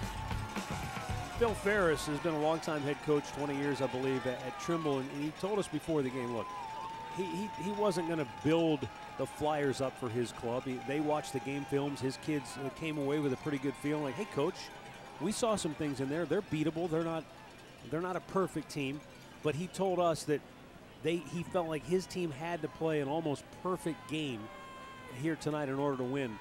And uh, so they've, they've definitely got to uh, dress up a few things. Well- the turnovers, obvi- the turnover, the, the big Yeah, one right. on that drive was costly, obviously, but they're going to need to come up, I think, with some turnovers in the second half. Yeah, they're going to need some breaks. They're going to need a short field, maybe a pick six, uh, something along those lines to create a spark. Uh, but uh, you know, you got to believe. You, you know, you're, you're Trimble, uh, Trimble and you know, the faithful in the stands. That's their theme. You got to believe. I was, eh, you know, I had a, a restaurant before the game, between between games, and they have a number of fans in there, and they were chanting, chanting. I mean, it was Mhm. all about believing you got to win. You can win this football game. And, uh, yeah, that's what they're they're going to have to stay confident. You know, if they fall back, if they fall behind three scores, now that doubt starts creeping in. And you talked about Coach Ferris. That was the message. Hey, we can still win this football mm-hmm. game. Only down two scores, and really, you know, with two scores, you can take the lead. Trimble will get the football to start the second half. Remember, on their first kickoff that they received, they ran a nifty reverse that netted them a big opening return. This time a short kick near the sideline. Connor Stanley will take it up over the 20-yard line, and that's about all he'll get.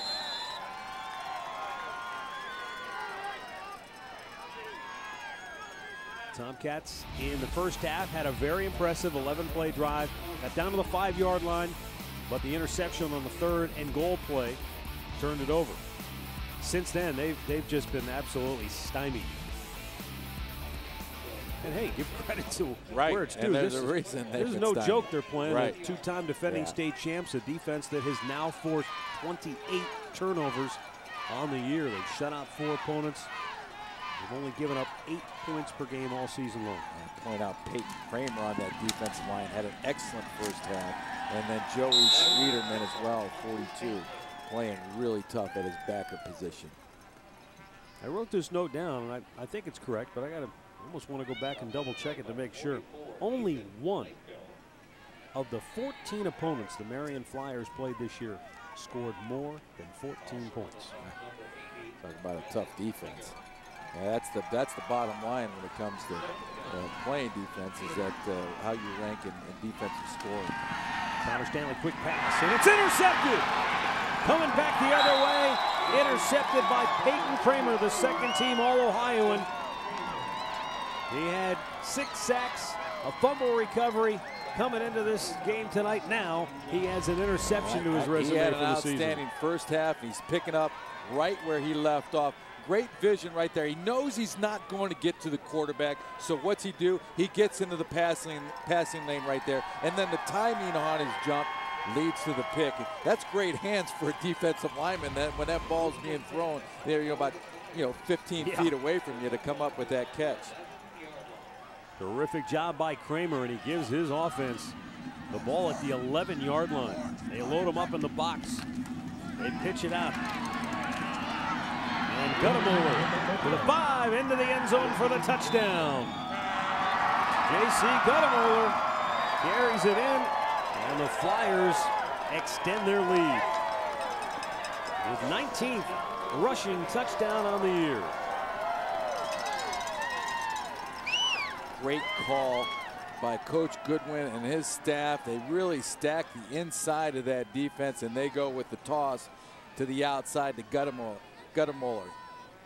He gets nice blocking, down blocking there, kick out on the defensive end, the support, and he breaks, cuts it up in there, finds the seam for the score. They're going to go for two here.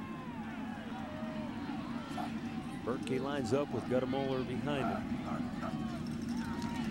Play action fake. Bertke guns it to the end zone, and Holman couldn't come up with it. Defended nicely by Austin Downs. So they quickly turn this interception into points. Like, again, that's a fantastic play by a defensive end. Great reaction by the defensive end, Kramer. And then you see the touchdown run here by Goettemoeller. Gets it to the outside and the toughness finishing that run. Watch this, turns it up. He can smell the end zone. Bam. He gets it across, stays in bounds. He knows it. And they told us, some of the folks from Maria Stein, that Goettemoeller been a little gimpy throughout the season. He's had an ankle injury that has persistently bugged him, and so some of his numbers may not be all that eye-popping compared to other backs, maybe, but you can obviously see why he's a tremendous football player. But Peyton Kramer set it up with the interception, number 52. And now it's a 19 to nothing lead for the Marion local Flyers. He Does it all. Picks off passes, And now we'll kick kicks it off. off.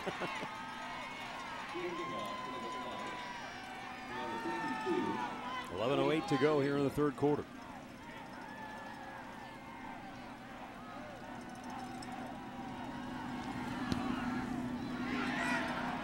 This will be Simmerly from a seven-yard line. Reverse fake. This is Jenkins, and he is smothered at the 20-yard line. They didn't buy it that time. Slagle coming up to make the stop. Downstairs once again, we go to Lindsay. Yeah, guys, this Trimble team looking a little deflated right now, but definitely some players trying to rally up the team to try and get some energy going and try and get some points up on this board. Back to you guys. All right, thanks, Lindsay. And this is a Trimble, you know, ball club that, you know, they've been tested this year. They, you know, they've had some tough ball games. They, in the playoffs, they, they beat Steubenville Catholic Central 27 to 22. Came from behind to beat Shady Side. Had a tough one against Western Reserve in the state semifinal game, beat them 14 to 10. But I don't think there's any question that this is the best team they've seen this year, and now they're in a 19 to nothing hole. Yeah, without a doubt, and they're in a hole right right off the bat on on first down. You know, a two one two yard gain on first down. They've got to do better than that. They've got to start putting themselves in a position where it's second and short, third and short, where those those conversion rates are much more manageable. They're just not controlling the line. Well, Marion Local is controlling the line of scrimmage. Second down and eight. Stanley under duress. Try to spin away. Stays on his feet. Somehow he got away and picked up a couple of yards. That was a tremendous individual effort to just avoid being sacked. Brandon Pranger, number 80, had him dead to rights, couldn't bring him down. All right, breaks, I think, four tackles right here. You see he's scrambling for his life. That's one, two, three. All right, stays on his feet. Three tackles. That's great effort by Stanley. He had one person in the pass route back there. He thought he, you'd think he'd get better protection up front. Third down and seven. Flyers show blitz. They bring a bunch. Trying to get the screen set up. He gets it away, and it's intercepted again. This time it's Chris Lochtefeld with, believe it or not, his second interception on the year. So these defensive linemen from Maria Stein are making like D-backs. Uh, this is a mistake by Stanley on this, trying to get the ball to Coons, number 42. Does a great job of avoiding the rush, but just doesn't see Lochtefeld there. Poor decision. Now that ball's got to have a little bit of loft on it to get the ball to Coons. His third interception now on the night, and again, the Flyers with a short field at the 24-yard line. Bertke hits Holman down near the 20-yard line. He's going to pick up almost nine yards on that reception. It will be second down and short. I tell you, Matt, I, I, can't tell you how impressed. I mean, I'm impressed with you know the efficiency at which Marion Local plays offensively and connecting with their passes. But you know, there, there's not a whole lot of yardage after the catch. When those catches are made, the, the, the defenders there in the backfield, Kish, Simmerly, Downs, Jenkins, they're right there to get them down. I mean, their, coverage in the secondary is outstanding. Bertke guns it inside again. Holman again on the slant, takes it down inside the five-yard line. Other than the one sack when the Flyers uh, were just overwhelmed by the Tomcats uh, in that first half, they haven't had many negative plays. No. The Flyers offense has been very, as you said earlier, efficient. Not a lot of flashy big plays, but seven, eight, nine yards a pop here tonight. And, and Bertke on the keeper. Touchdown. And Bertke into the end zone for the second time tonight as the Flyers extend their lead. And they just quickly have converted two turnovers into two touchdowns here in the third quarter. And once off a turnover, that'll kill you. Give them a short field. You know, they, we've seen what they could do right before the half. They go, you know, uh, about 65, 70 yards for the score. You give them a short field, and the, the odds increase even that much more for them to score. And they love that quarterback run inside the 10-yard line.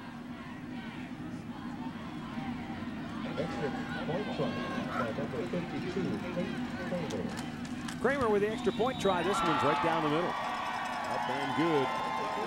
And the Maria Stein Marion local Flyers have extended their lead to 26 to nothing, looking for their third consecutive state championship. They're well on their way here tonight.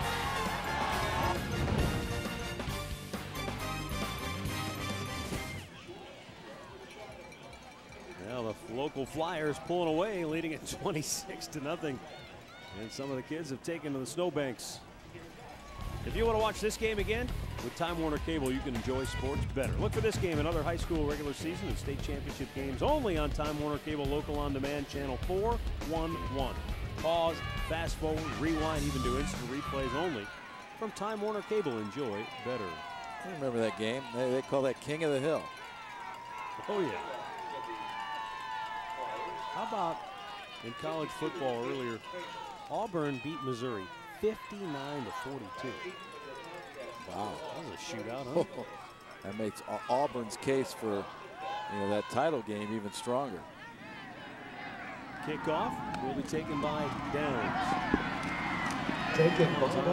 Move up across the 25-yard line. And the Trimble Tomcats go back to work offensively.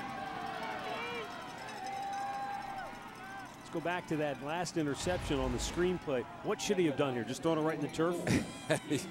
the simple, smart aleck answer is not throwing the football right there. He's got to get to loft that ball a little bit, get it over the head uh, of the uh, defender. Uh, Klosterfeld, I'm sorry, Lochtefeld, get it over his head, loft it a little bit, and get it out to Coons. Wishbone formation, they go to Jacob Coons, and he takes it out to the 30-yard line. Jacob Coons, a senior, came in averaging a little over four yards a carry on the year.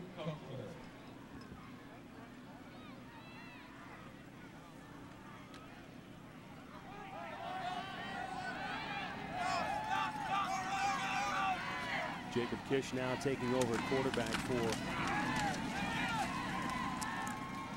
the Trimble Tomcats looking down on the sideline trying to see if Connor Stanley is injured or oh, he's actually on the field. They've just got him just moving people around a little bit.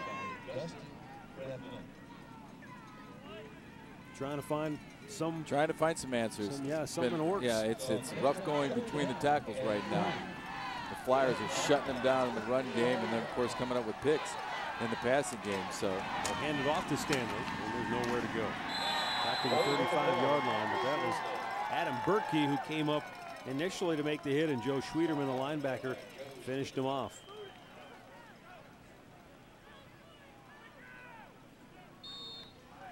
Obviously, when you've got linebackers like Kunkler and Schwieterman who have logged over 100 tackles and Brandon Pranger also has 100 tackles on the year. That tells you that you're good, good safety support, good defensive line play. That's right. Defensive line play, letting those guys fly to the football. And plus, you've got guys that are sure tackles. They're not missing it. Punt is away. Dies down at the 40-yard line, and that's where the Tomcats will down it. I mean, I talked about that earlier. We saw, you know, that was a point of emphasis for Coach Ferris coming out halftime. Hey, you know, we've got to be better tacklers. Last year, Marion Local took on Newark Catholic, and with 21 seconds left, Hunter Wilker, his third touchdown of the day, put him up 28-21. Newark Catholic had one last untimed down after a pass interference call. but It was knocked away, and the Flyers held on to win their sixth state championship. They're closing in on number seven. They lead 26 to nothing. Still a lot of time, though, left to go. 6.42 remaining here in the third quarter. Hunter Wilker trying to get wide. out of bounds at about the 42-yard line. Wow. I want to recognize, I think that's Jacob Altier there from the defensive end position. Just does an outside, uh, outstanding job of stringing along. There's Micah Couch as well. Good defensive play there. That's Couch at left defensive end, stringing along. And then, then coming off the blocker and making that play. It's exactly the way that you practice that, you teach it.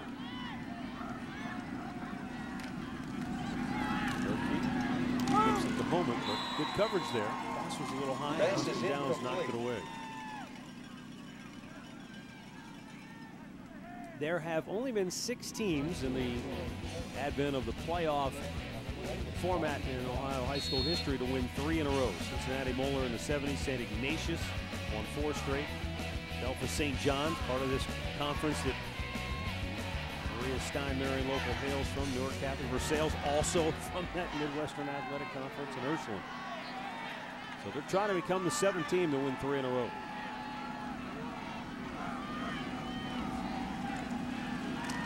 Bertke guns it. Oh, that's an absolute laser throw, and he hits Holman right between the two and the four down to the 42-yard line of the Trimble Tomcats. That play has been there all night all day long. long. Great route running by the receivers, especially Holman. And watch the gun that Bertke has. Good setup, nice little look off, and then the rifle there. Working in front of Downs, and yeah, that coverage is just late coming down on the slant. They can't get to it in time. Goettemoeller. Going to take the handoff. He's going to take it down near the 35-yard line. On JC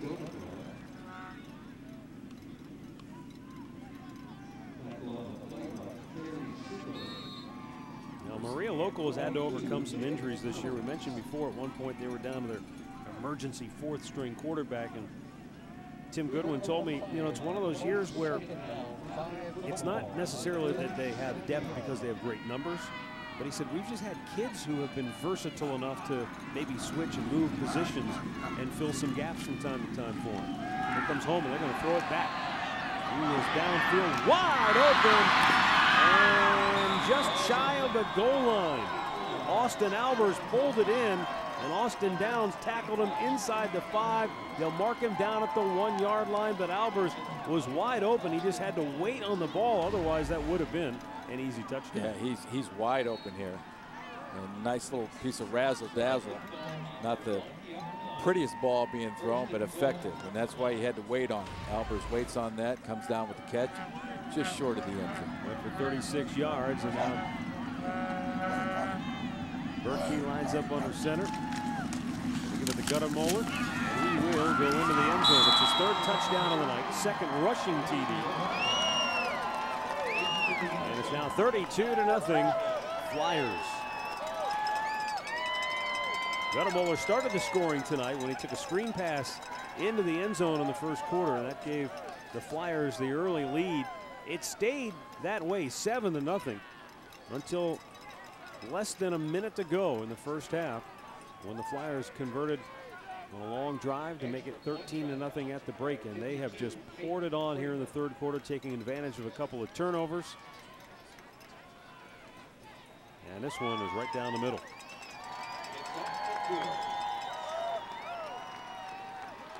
The Flyers pulling out all the stops as they seek a third consecutive state crown they lead it 33 to nothing.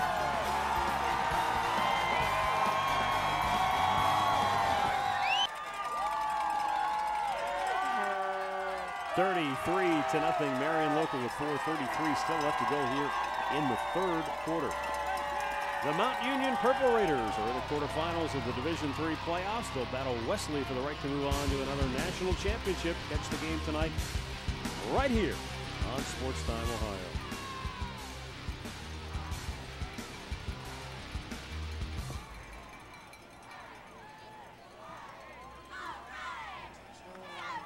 Trimble Tomcats will get the football back here. But they are in a gigantic hole now.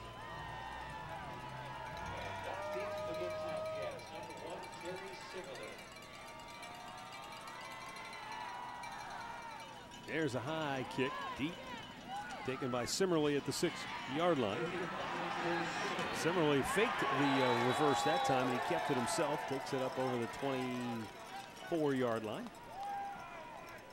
He's fun to watch, Simmerly. Yeah. So is this guy, Jacy Goettemoeller. See that big ankle brace on his right ankle. He's been hobbled throughout the season, but he took that opening screen pass for the game's first touchdown. Good hard running to get in the end zone there. And this is a little capper right here, his third TD of the night.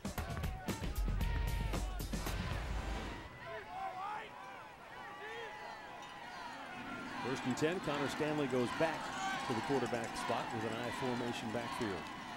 The counter, nothing doing. Oh my, snuffed out beautifully by the nose tackle Jason Brunswick. Brunswick was just basically sitting there, and, he, and you know, a lot of times on that counter, you get smoked. He just stood Right. his ground. You know, and that's something that's it, very easy. You can very easily get you know out of position or go with the the initial fake. But that time, Bru- Brunswick he shows great discipline, and that tells me that they're prepared well for the attack that Trimble's come in with. He's staying at home, being gap sound, and making a nice play. Good hard running up over the 25-yard line by Justice Jenkins. It'll bring up third down. And here, you know, you got we got another th uh, third down and you know seven plus. It's just it's just very hard to convert uh, when you get the third and extra longs and the second and extra longs. Yeah, this is going to go for a third and eight. They need the 34-yard line. Stanley will go to the spread.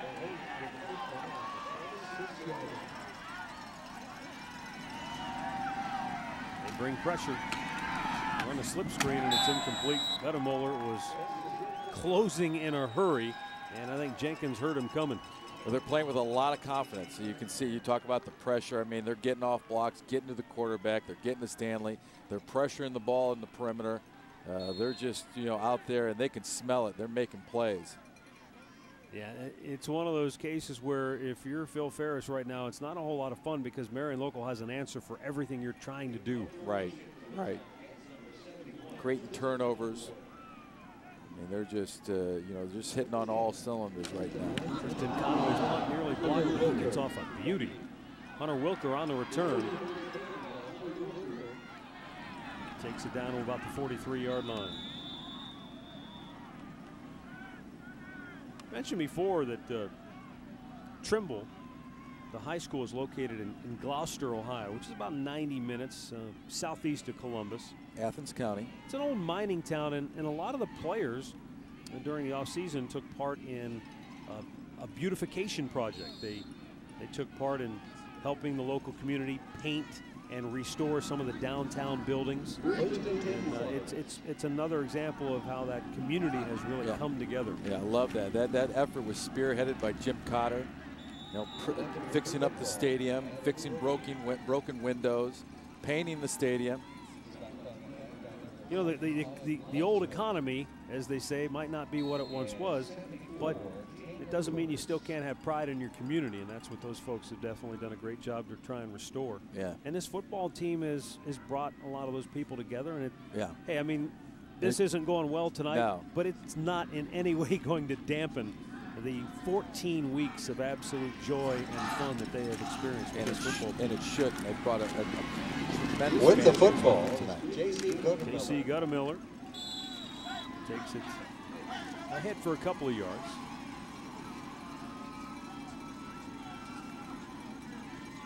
You know, and it's interesting too. I thought Tim Goodwin uh, told us earlier in the week. He said, you know, we actually have had our eye on Trimble all year long because last year we were getting ready to play Newark Catholic, and they had played Trimble, and we saw the game film. We said, ooh, this team's pretty good over here from uh, from Trimble. So he said we started watching them all season long and watching it each week progress. They kept winning. And we said, you know what? Don't be surprised if down the line that's a team we might end up seeing again. That's a sign of a smart head coach keeping a book on all your possible competition. Beautiful pass, another wide open. Troy Holman inside the 25, leaps down to the 24-yard line. Well, he has had a terrific night catching the football, and whether it's been in traffic or free and easy, he's made a lot of nice catches. Yeah, moving the pocket, extending the play right there. Holman does a nice job of getting his numbers back to the quarterback there and making himself available for the nice pitch and catch. That's the job of a receiver there, to get yourself noticed. Thinking Adam Bertke might want to take Troy Holman with him to Pitt. Down to the 20-yard line. On that carry goes Aaron Nietfeld. Nietfeld will be back next year. He's just a sophomore. So will Jacy Goettemoeller. They'll obviously be looking for another quarterback, but it's always nice when you've got your two running backs returning. Hunter Wilker, one of their wideouts, also just a sophomore. So they'll continue to reload as they always seem to do at Maria Stein.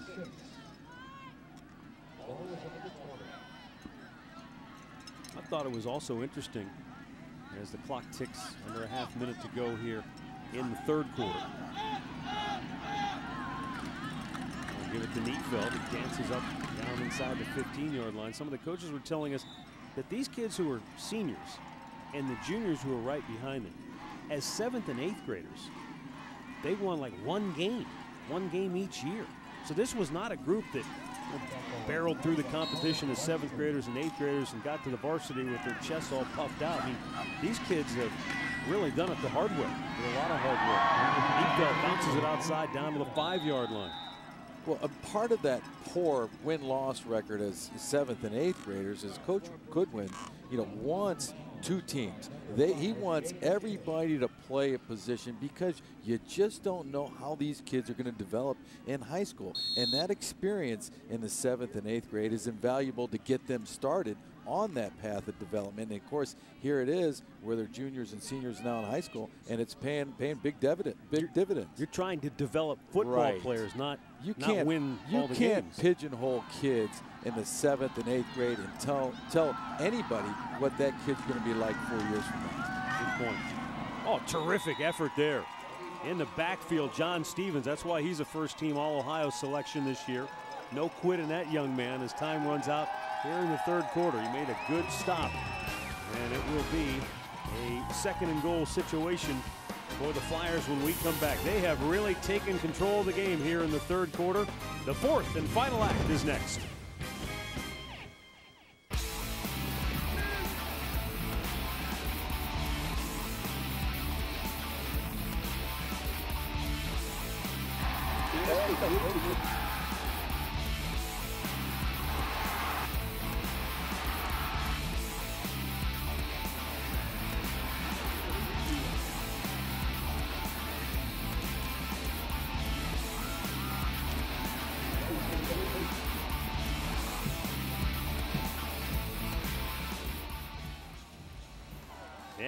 Welcome you back to Massillon.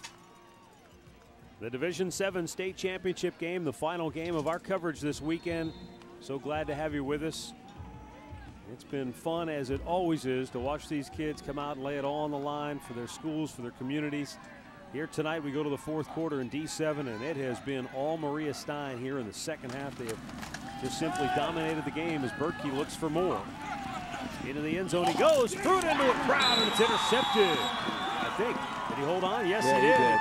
Picked off by Jacob Kish. His sixth interception of the season.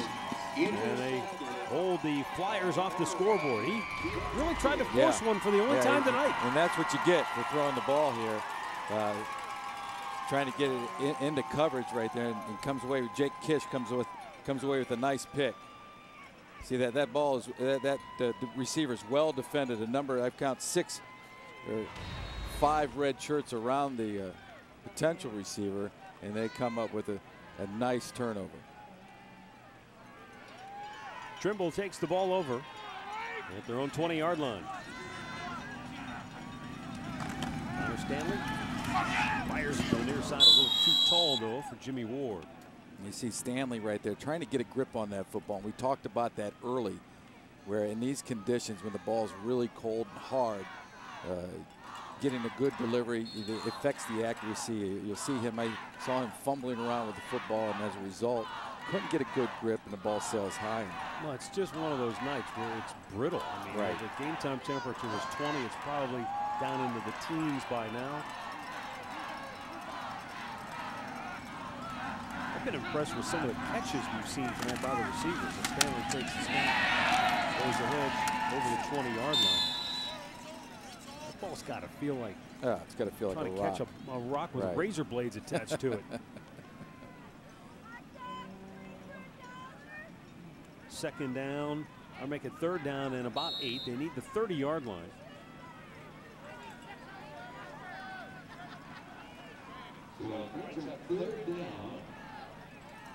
Substitutions. Looks like they're going for more of a passing package here. Now you see Simmerly come in the game. You see Albers come in the game. I'm sorry, not Albers. Jenkins come in the football game. Jimmy Ward flanks out wide to the far side of the formation. Down the middle. Austin Downs almost made a one-handed catch. He reached down for it, tried to pull it in with one hand, but couldn't quite do it. And so fourth down up for Trimble, and they'll have to punt it away. See Stanley leads him a little bit too far. Downs is able to get one paw on it, but can't reel it in. Takes a lot of courage to catch that ball over the middle like that. They're going to punt away. Tristan Conway. End over end boot. Going to take a bounce. No return. The Flyers will take over at the 50 yard line. We'll go downstairs to Lindsey Rowley. Yeah, Matt, as you mentioned earlier, there is a popular hairstyle among the Trimble community. The way that Mohawk Mafia got started was Coach Ferris actually teaches sixth grade, and earlier in the year, some of his students who played football decided they were going to do their hair in a Mohawk style. And some of these youngsters actually had older brothers who played on the varsity football team, and apparently they decided to copy their younger brothers. And from that, the whole Mohawk style just sort of caught fire in Trimble. A lot of the guys on the team began to adopt the new look, and they all dyed their Mohawks pink for Cancer Awareness Week. And then after that, dyed them red to show a little school spirit. And Coach Ferris said, honestly, you cannot walk through our elementary school without seeing several red Mohawks. They are everywhere. So one of the one day the Trimble coaches were watching some of the guys mess around and they all had red mohawks and they said, "Oh, there, look, it's the Mohawk Mafia." And from there everybody just caught on and ever since then it's stuck. Back to you guys. Well, it's really been impressive to see how it's spread through the community. You see some of the hats, but we, we've seen grown men with with red mo- mohawks. I saw a senior, I saw an older lady with a mohawk. I, I, I kid you not, coming into the football game. First down carry. And that looks like Ethan Nietfeld with the carry. There you go. It extends to the goatee right there. Oh, yeah. like that look. solid right Yeah. there. So the uh, the spirit's still running high in the in the crowd for Trimble, and, and as we said before, I mean, there will be obvious disappointment with the way this game has turned out tonight, but it, it, it cannot and should not dampen the enthusiasm in the community for what these young men have accomplished here tonight. We said uh, it had been a long time 1981 was the last Athens County team to, to win a state championship. Number 11 on the offense. First time in Trimble school history to ever get to a state title game. And so once you once you get here, you you know you put that up in the weight room and it goes up in the locker room, and, and the goal is set. The bar is set now for the next generation of Trimble football players. You know, this, Right. this group got to the state That's title right. game. Now it's That's- up to the next generation to that- carry the that- torch. That's a great point. Yeah, you, you're getting there, uh, you know, and setting that standard for you know, the juniors and the sophomores, the. Another good throw by Bertke. Boy, he has really been impressive throwing the football on time, on the money. Hits Austin Albers right there for another first down catch.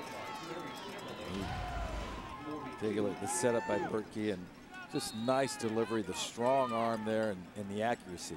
But I'll go back to something I said earlier, Frank, and that is he's thrown the ball on time. He's thrown it with zip. He's thrown it accurately.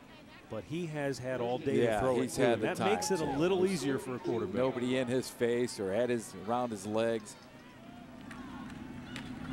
Aaron Nietfeld now carries it down to the 30-yard line. Picks up a couple of yards. It'll be second down and eight. You know, to get here, to get to this championship game, Marion Local had to play their rival Delphos St. John's. They beat them 35 to 6. And afterwards, now re- remember, this is a team you played during the regular season. Then they beat them in the state semifinal 35 to 6 to get here. And after that game, their head coach, Todd, I believe it's pronounced Schulte, he said, quote, that's the state champion right there. Nobody's going to beat them.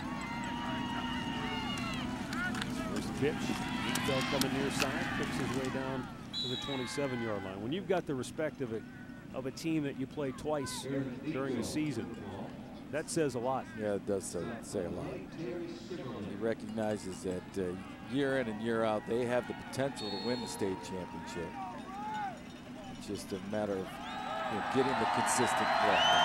They've gotten it this year. Adam Bertke goes off to a big ovation from the Maria Stein crowd on hand. Senior will head on to the University of Pittsburgh to play college football next year. And now, Nietfeld carries it down inside the 25-yard line, close to the 24. New quarterback is Dustin Rethman. Rethman, a second team All Ohio, and at cornerback. But being that he's only a junior, he, he might be moving into full-time signal calling duties next year. Fourth down and a about two yards to go for the first down. Everybody loaded up between the tackles. And Nietfeld will not get it. The Tomcats stop him short, and they'll take it over on downs. 7-10 left to go here in the football game. We'll take a timeout.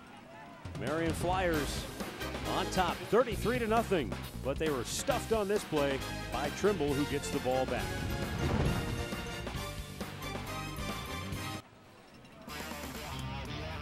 Well, the way this game started off, it was very tight. Marion Local scored early, 7 to nothing. It stayed that way until the final minute of the first half when they got a late touchdown to make it 13 to nothing. Then in the third quarter, turnovers were the difference. They they led to three touchdowns in the span of six minutes and 35 seconds. And the Flyers turned a close game Yeah. into a and, rout. And, and really looking back on it, that was a prelude of things to come because they they've got they got the passing game going there on that drive, and then in the third quarter they just developed it even further. A hitch and go. But the ball's fumbled out of bounds. By the way, the in-game summary brought to you by Panini's.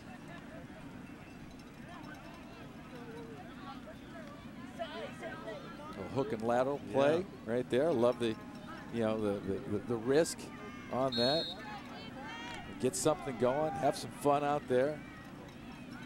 Open up that playbook.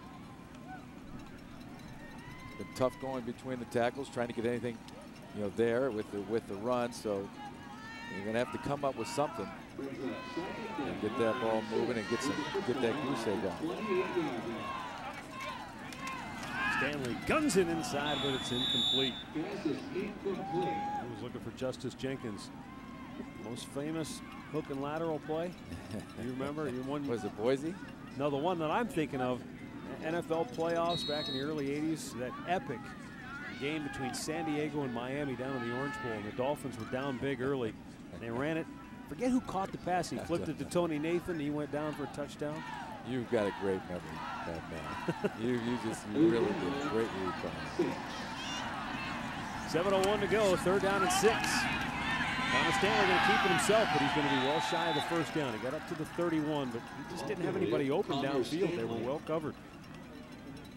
No, no, yeah, there was nice coverage. We talked about the coverage there uh, by the uh, the Tomcats in the secondary, and really, you know, for the Flyers there, those guys there, you know, uh, Goettemoeller, uh, Bertke, Nagel, Rethman, you know, they've just taken away all the deep routes. It's just not allowed any really explosive plays by the Tomcats. Well, and again, you get into these situations, and it makes it a little bit easier to, to dial up your defenses when you've got the big lead. Might have been partially blocked. Hit the, uh, hit the official on the far side of the field out of bounds, right at the 40-yard line.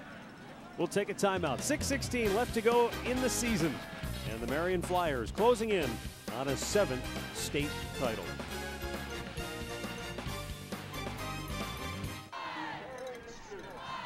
Marion Local leading big earlier today. Another team from their conference in Division 5, the Coldwater Cavaliers behind Brody Hoying. Ran away from Columbus Bishop Hartley, winning it 24 to 7. Hoying had three touchdowns in the ballgame. He was simply outstanding. We did that game at 11 o'clock. And I tell you, you talk about a competitive kid. You got him inside the 10 yard line. He was not going to be denied.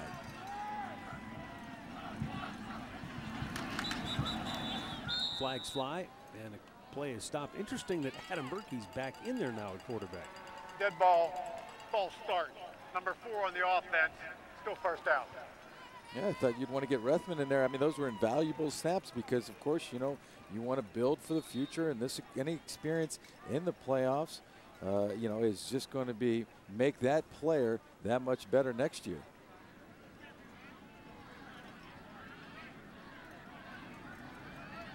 First down and 15.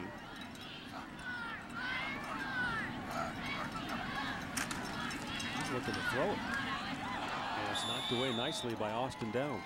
Well, surprised the coach has thrown it. Coach Goodwin's thrown it here up 33 to nothing.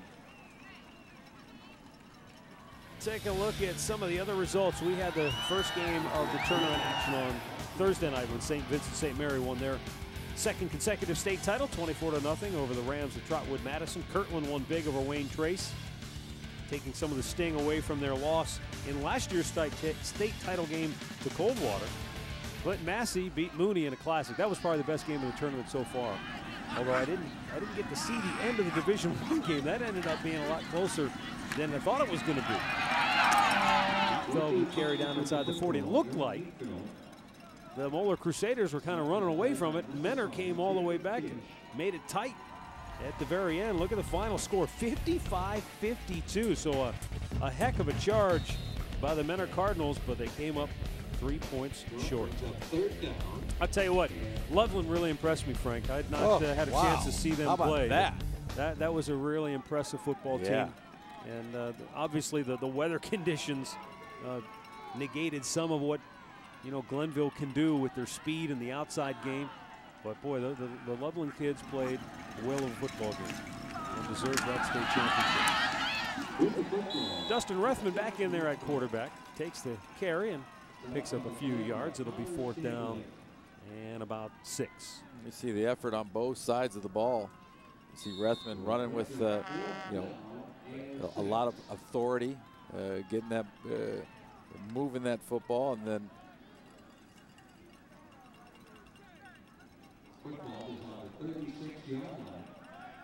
Clock Connor. Stan- Conley, Connor Stanley coming up, delivering a blow on him. I mean, it's just, you know, they just continue to fight both sides of the ball, regardless of the score. Under five minutes to go. Rethman was underneath and a heck of a catch made. Low throw, but Hunter Wilker went down and just dug it out. That's a first down. And now they're going to substitute everybody. So the mass substitution for the Marion Flyers. All of the starters look like they are headed to the sideline. They get a huge hand from the crowd who has traveled from southwestern Ohio up here to Massillon for the state championship game, and now a host of substitutions with four and a half minutes to go and counting in the game. Another new quarterback in the ball game, and that is number 14, Dwayne Loigers.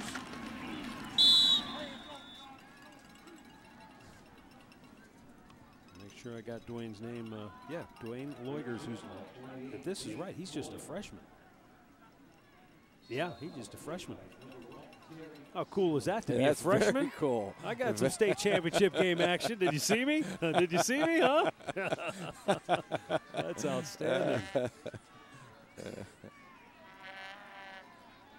But you know, to your point too, Connor Stanley and the, the gang on that Trimble side, regardless of the score, they Yeah, they have play. played their hearts out here tonight. And don't be surprised if you see Coach Ferris substitute as well. I mean, it's about the experience. Uh, you know, of course, Marion Local is going to celebrate this win, and, and as they should. You, you know, experiencing and putting together a three-peat, but uh, the Tomcats have got nothing to hang their heads about.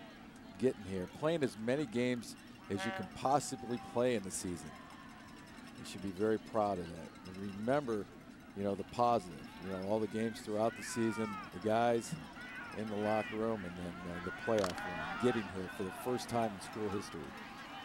They quickly get to the line of scrimmage on a third down play. They hand it off, take it down to the 25-yard line. Nate Moeller with the football.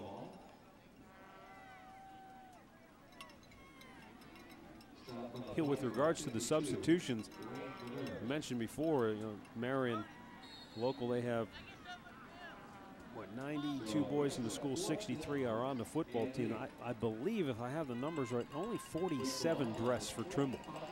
Now the school size boys enrollment is the same, but they don't have quite as many numbers out for the football team. I have a sneaking suspicion that's going to start to change in Trimble in the next few years right, because right. all those young kids that are in sixth grade, they all want to be part of this football team now. Gonna have to buy a few more helmets next year. Yeah.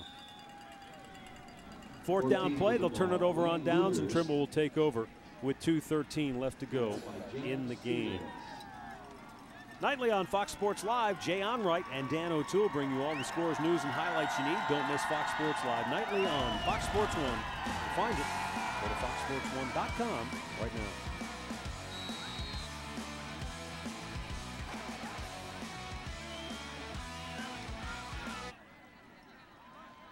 With 2.13 left to go in the game, Trimble comes out offensively.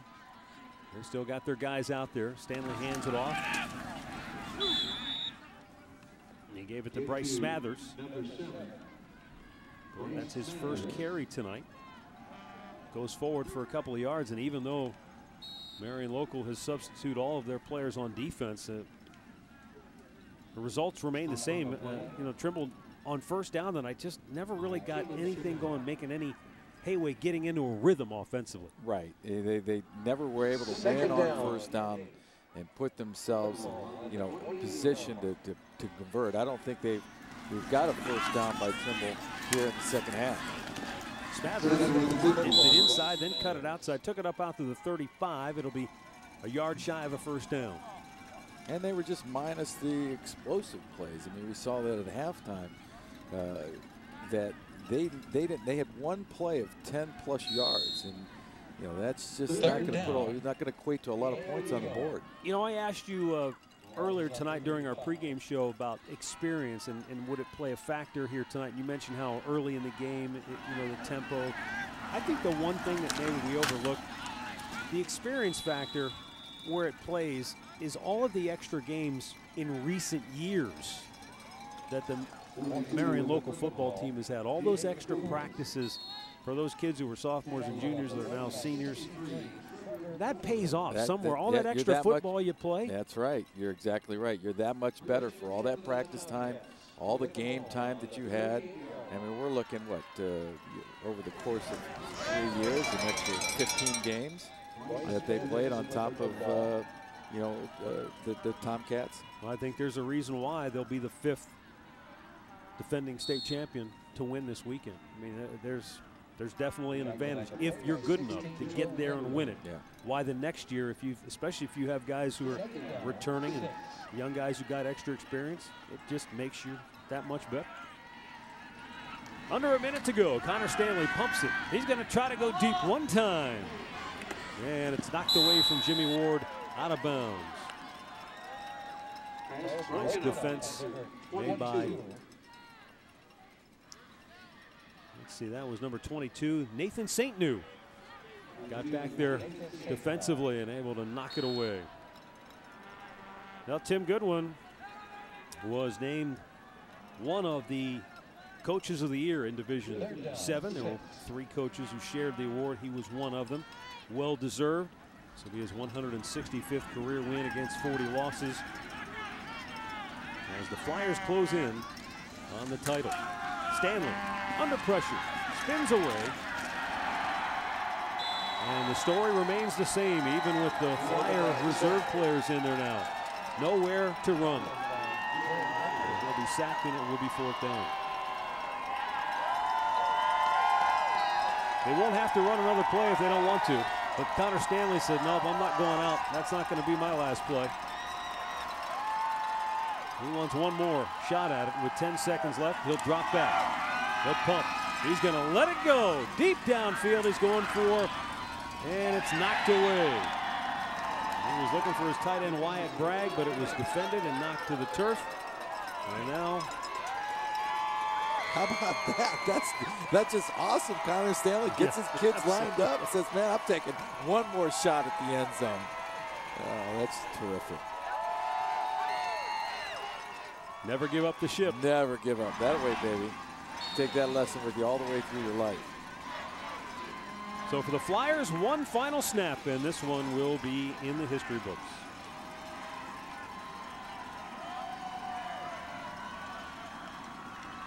And it will be up to the freshman quarterback, Dwayne Loigers, to take that snap, go to a knee. And the Maria Stein Marion local Flyers are state champions for the seventh time in school history. They have won it for the third consecutive year, the first ever Division Seven state champion in Ohio.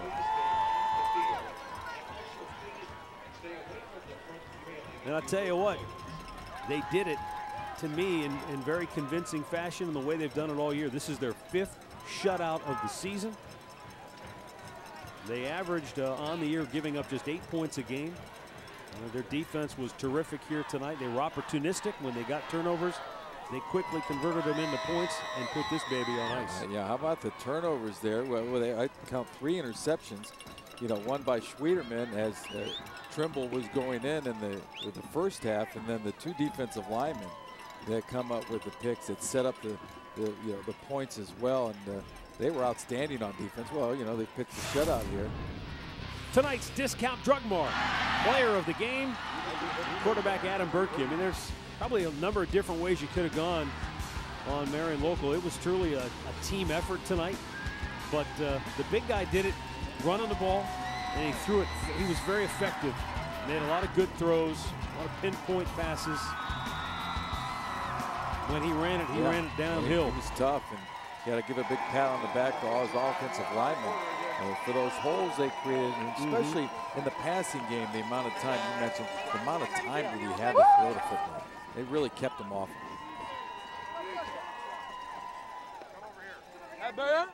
Well, the final game of our weekend coverage. Hope you enjoyed all seven state championship games. Let's go down to the field. Lindsay is with our Discount Drug Mart player of the game. Adam, headed to Pitt next year. How does it feel to end your career with a state championship? Oh, it, it feels great. Words can't describe it. You know, coming into the season, this was our ultimate goal, and you know we had we knew we had the team back and stuff, and we had the right players to do it. And just leaving my senior year with uh, three state titles is something I dreamed about. So it's awesome. And you played in some big games over your career. How does this one compare? Oh, it, it's definitely up to the tip top. I mean, like I said, three state titles, three big games, and and it's awesome to just get back here and uh, with the crowd and the community here. It's, it's a great atmosphere, and it was awesome. All right, thanks so much. Congratulations, Adam. Guys, All right, thanks, Lindsay, and congratulations to Adam Bertke. And we'll definitely be keeping an eye on his career as he progresses now on to the next level. And hey, to the Trimble Tomcats, uh, hats off to a tremendous season. 14 0 coming into tonight's game, first time ever advancing to the state championship game. They they were a game bunch. They, they gave it all they had, and they, they, they made it a game all the way up until the final minute of that first half. You had a feeling, though, when, when Marion scored right at the end of the first half, that that might have been a decisive blow, and it really swung the momentum. The turnovers in the second half just too much to overcome. But uh, they don't go home empty-handed. They'll take home the runner-up state championship trophy. To the outstanding football team from Trimble High School. And listen to the crowd that's uh, here still from Trimble, and hey, they deserve your applause. They deserve your adulation. Because as we said before, you, you can't let what happened tonight dampen what has been an outstanding season for everybody in Glouster, Ohio, that has followed the Trimble Tomcats this year. They'll finish their season 14 and 1, state runner-ups, and we'll go down to the field for the trophy presentation now. To the Tomcats of Trimble High School.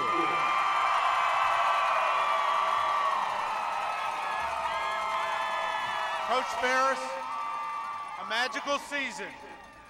How about your great fans?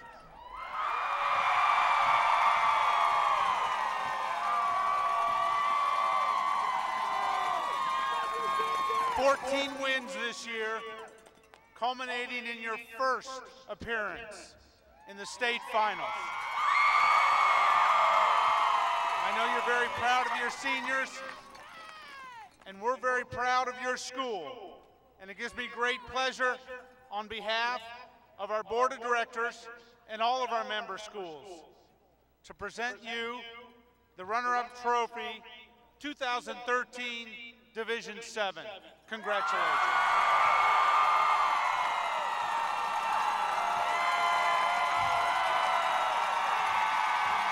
I know it's hard for you to to relate to since you always won the championships and won the national championship, state championship, national championship. You were always uh, No, no. you were always on the other side Hey, we were going for a three-peat, and we lost in the playoffs, so I know what they're feeling. Huh?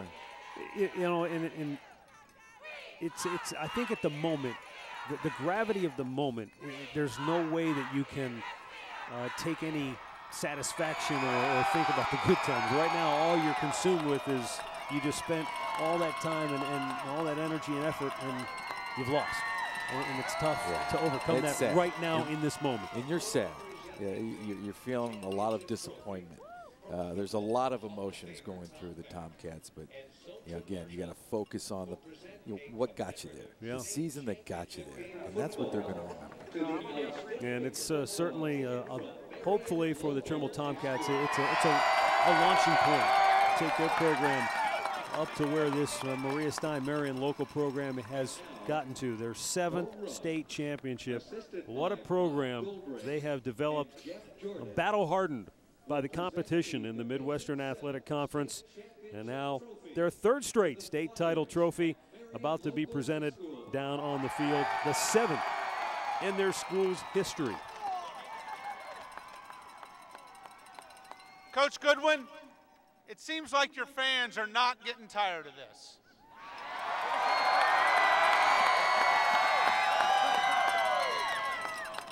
How about this? Seven state championships. Three state championships in a row. The best playoff winning percentage in OHSAA history.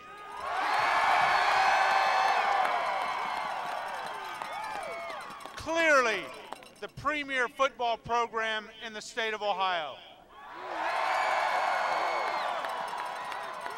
It gives me great pleasure on behalf of our board of directors and all of our member schools to award you the championship trophy for the first time in Division 7, 2013, Marion Local Flyers.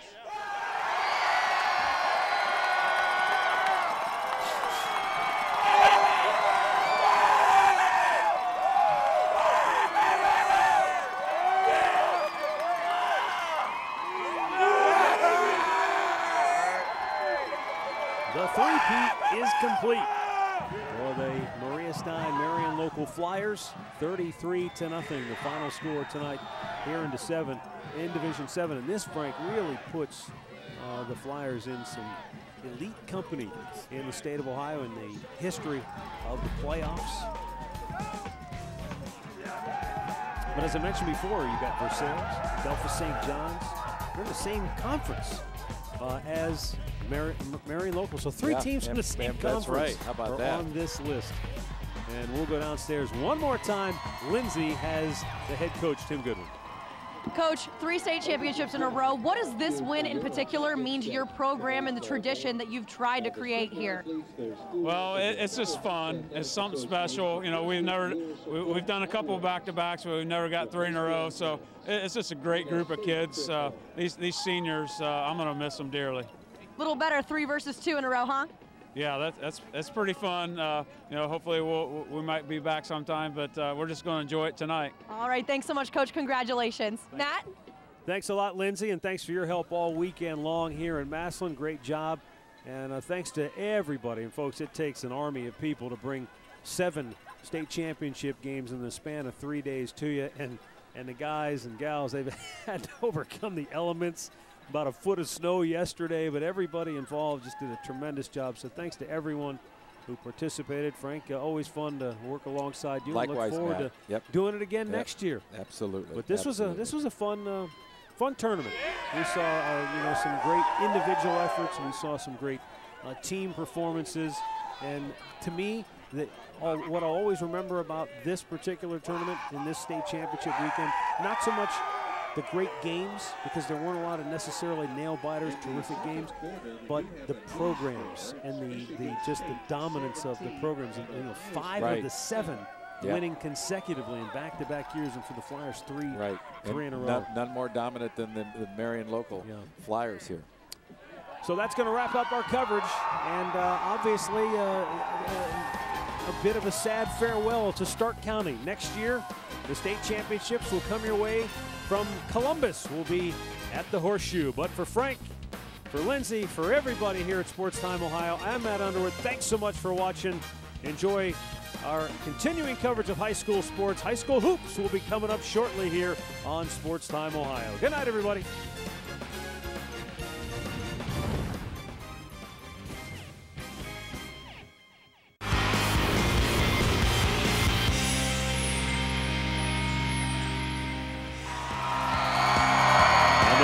Stein Marion local Flyers are state champions for the seventh time in school history. They have won it for the third consecutive year, the first ever Division Seven state champion in Ohio. Another state title for Marion Local. You can make it number seven now. And speaking of seven, it's the first ever in Division 7 as Marion Local gets the win 33 0 over Trimble. Congrats to Trimble for a great season, but Marion Local, the best in the business in Division 7. Dave Chudowski with you here on the post game show. We are in the Hyundai Studios in downtown Cleveland, Ohio. The coach Bill Powers, Ryan Kavanaugh, the final time we meet together, gentlemen, and it was a great three days. But, coach, when you look at this game, it turns out it was just pure domination. Marion Local, the best for a reason. Yeah, the Marion local team we expected to show up showed up in the second half, and they really just put it all together and clicked on all cylinders there. Yeah, I hate to steal a famous line, but they are who we thought they were. and once you got Bertke and Goettemoeller going in the second half, and the defense stepped up. I mean, another their fifth shutout of the year against a very solid Trimble team. So hats off to Marion Local as they earn their seventh state championship. And for the 11th time in 13 years, a MAC school has won a state title, Coldwater earlier, and now Marion Local. We'll talk more about that in a moment, but let's get to the second half highlights as it was 13 0 at halftime. And guys, here comes Goettemoeller again, 11 yard touchdown run. And at this point, we're thinking it could be over 19 0. Yeah, and that, you know what? That came off as, on Coach Powers' point, Trimble had to do something coming out of the half when they received the ball. They threw an interception, and then Goettemoeller did the rest. Yeah, and there was multiple interceptions for Trimble. Then here's Adam Bertke with his second touchdown. That made it 26 0 Bertke, the real deal, guys. Yeah, when you're six foot six, you're playing Division Seven, you're unstoppable. And here comes Goettemoeller again, a one-yard touchdown late in the third quarter, and that made it 33 0 And that is our final. And there it is, the championship trophy heading back to Maria Stein, Marion local. Let's take a look at the numbers now. Bertke 17 at 28, 9, 216 yards in the touchdown. And then he also had the 12 carries for 47 yards and two touchdowns. And Goettemoeller, nine carries, 44 yards, and two touchdowns. Basically, if you go back to the pregame show, Ryan, the guys we told you about came through. Absolutely. And, you know, it's good for both those guys, Goettemoeller and Bertke, especially considering the season they've had. They went through, each of them had injuries and missed several weeks. But they, they came through and the lights shine the brightest. I'll never forget when I was introduced to the MAC years ago, and I'll tell you, they just keep winning state titles. And now, how about that? Delphos St. John, St. Henry, and Versailles has to look at Marion Local at the top coach because now Marion Local has seven. How about 30 state titles for this conference? Unbelievable, isn't it? I'll tell you, if you watch that Marion Local team tonight, you saw a lot of sophomores and juniors who contribute tonight. So I think that number could raise pretty easily next year. And then you look at the defending of the titles. Ryan, I, I'm telling you, I mean, I played high school football in Ohio, covered it my whole career. I, I can't think of a year where you had five teams go back to back, and with Marion Local, it's back to back to back, Coldwater back to back, Clinton Massie back to back, SVSM back to back, and Moeller back to back. That's an unbelievable uh, stat or whatever. you- accomplishment. I don't think people realize how difficult it is to win a state championship, have a bullseye on your back all year long, expectations to get there, and then go ahead and, and put all that to the side and accomplish it. It's impressive. Wow. So five of the six teams that came back, Central Catholic couldn't. They didn't they didn't make this point, but the other five did. Now let's look at this. State champions overall. St. Ignatius at the top at 11. Then you have Moeller jump to nine to break that tie, and then Marion Local at seven. So, I mean, that's the best of the best coach on that list. Tell you what, at this rate, Marion Local is going to move their way up to number two or one in the near future here, the way they're playing ball lately. The Wow. well is the well is certainly not dry No. for the Flyers. That's a solid program. What a great three days it was with the back to back champions, and it finishes off with Marion Local. But now, we have been talking about it for the last three days. It's something that has become very powerful in the Sports Time Ohio studios here in downtown Cleveland, Ohio, the Hyundai studios. And it is time for the All Kavanaugh team. Roll it, boys. How about the Start Division One. make the all Kavanaugh. Zamboni machine. Starting in Division One, Gus Ragland. You know there were 21 individual and team records set uh, in this game, and Gus Ragland was the star that shined the brightest. I'll tell you right now, there's a freshman right here, Luke Waddell, who could be another guy in this team in the years to come. Only a freshman showing up on the All Kavanaugh team. He really Impressive showed stuff. up. I mean, I wondered if he had Glenville speed. He had more than Glenville speed. He sure did. This is your guy, Chad. Hello, Newman. Newman Williams, two times. Forget about the back-to-back. He's back-to-back All Kavanaugh team. Shows up in the big games. He loves state titles, doesn't he? Speaking of state titles, Coach Bailey Wolf. That's my boy Bailey Wolf. Everybody said he's injured, he's not 100%. All he did was come out and score touchdowns in a championship game. Division Five, my Oh. guy Brody Hoying. You know we don't put people name people as captains, but you, I think everybody knows who my captain is. It's Brody Hoying. Hoying, the captain of the all Kavanaugh team, huh? This guy well deserving. There's Adam Hassan. I hope to gosh that his uh, stiff arm made the team too because that's the best stiff arm we saw all weekend. Adam Burke. Saving the best for last. What a quarterback. Did it both running and passing, leading Marion Local to that third consecutive state championship. And here's the rest of the guys.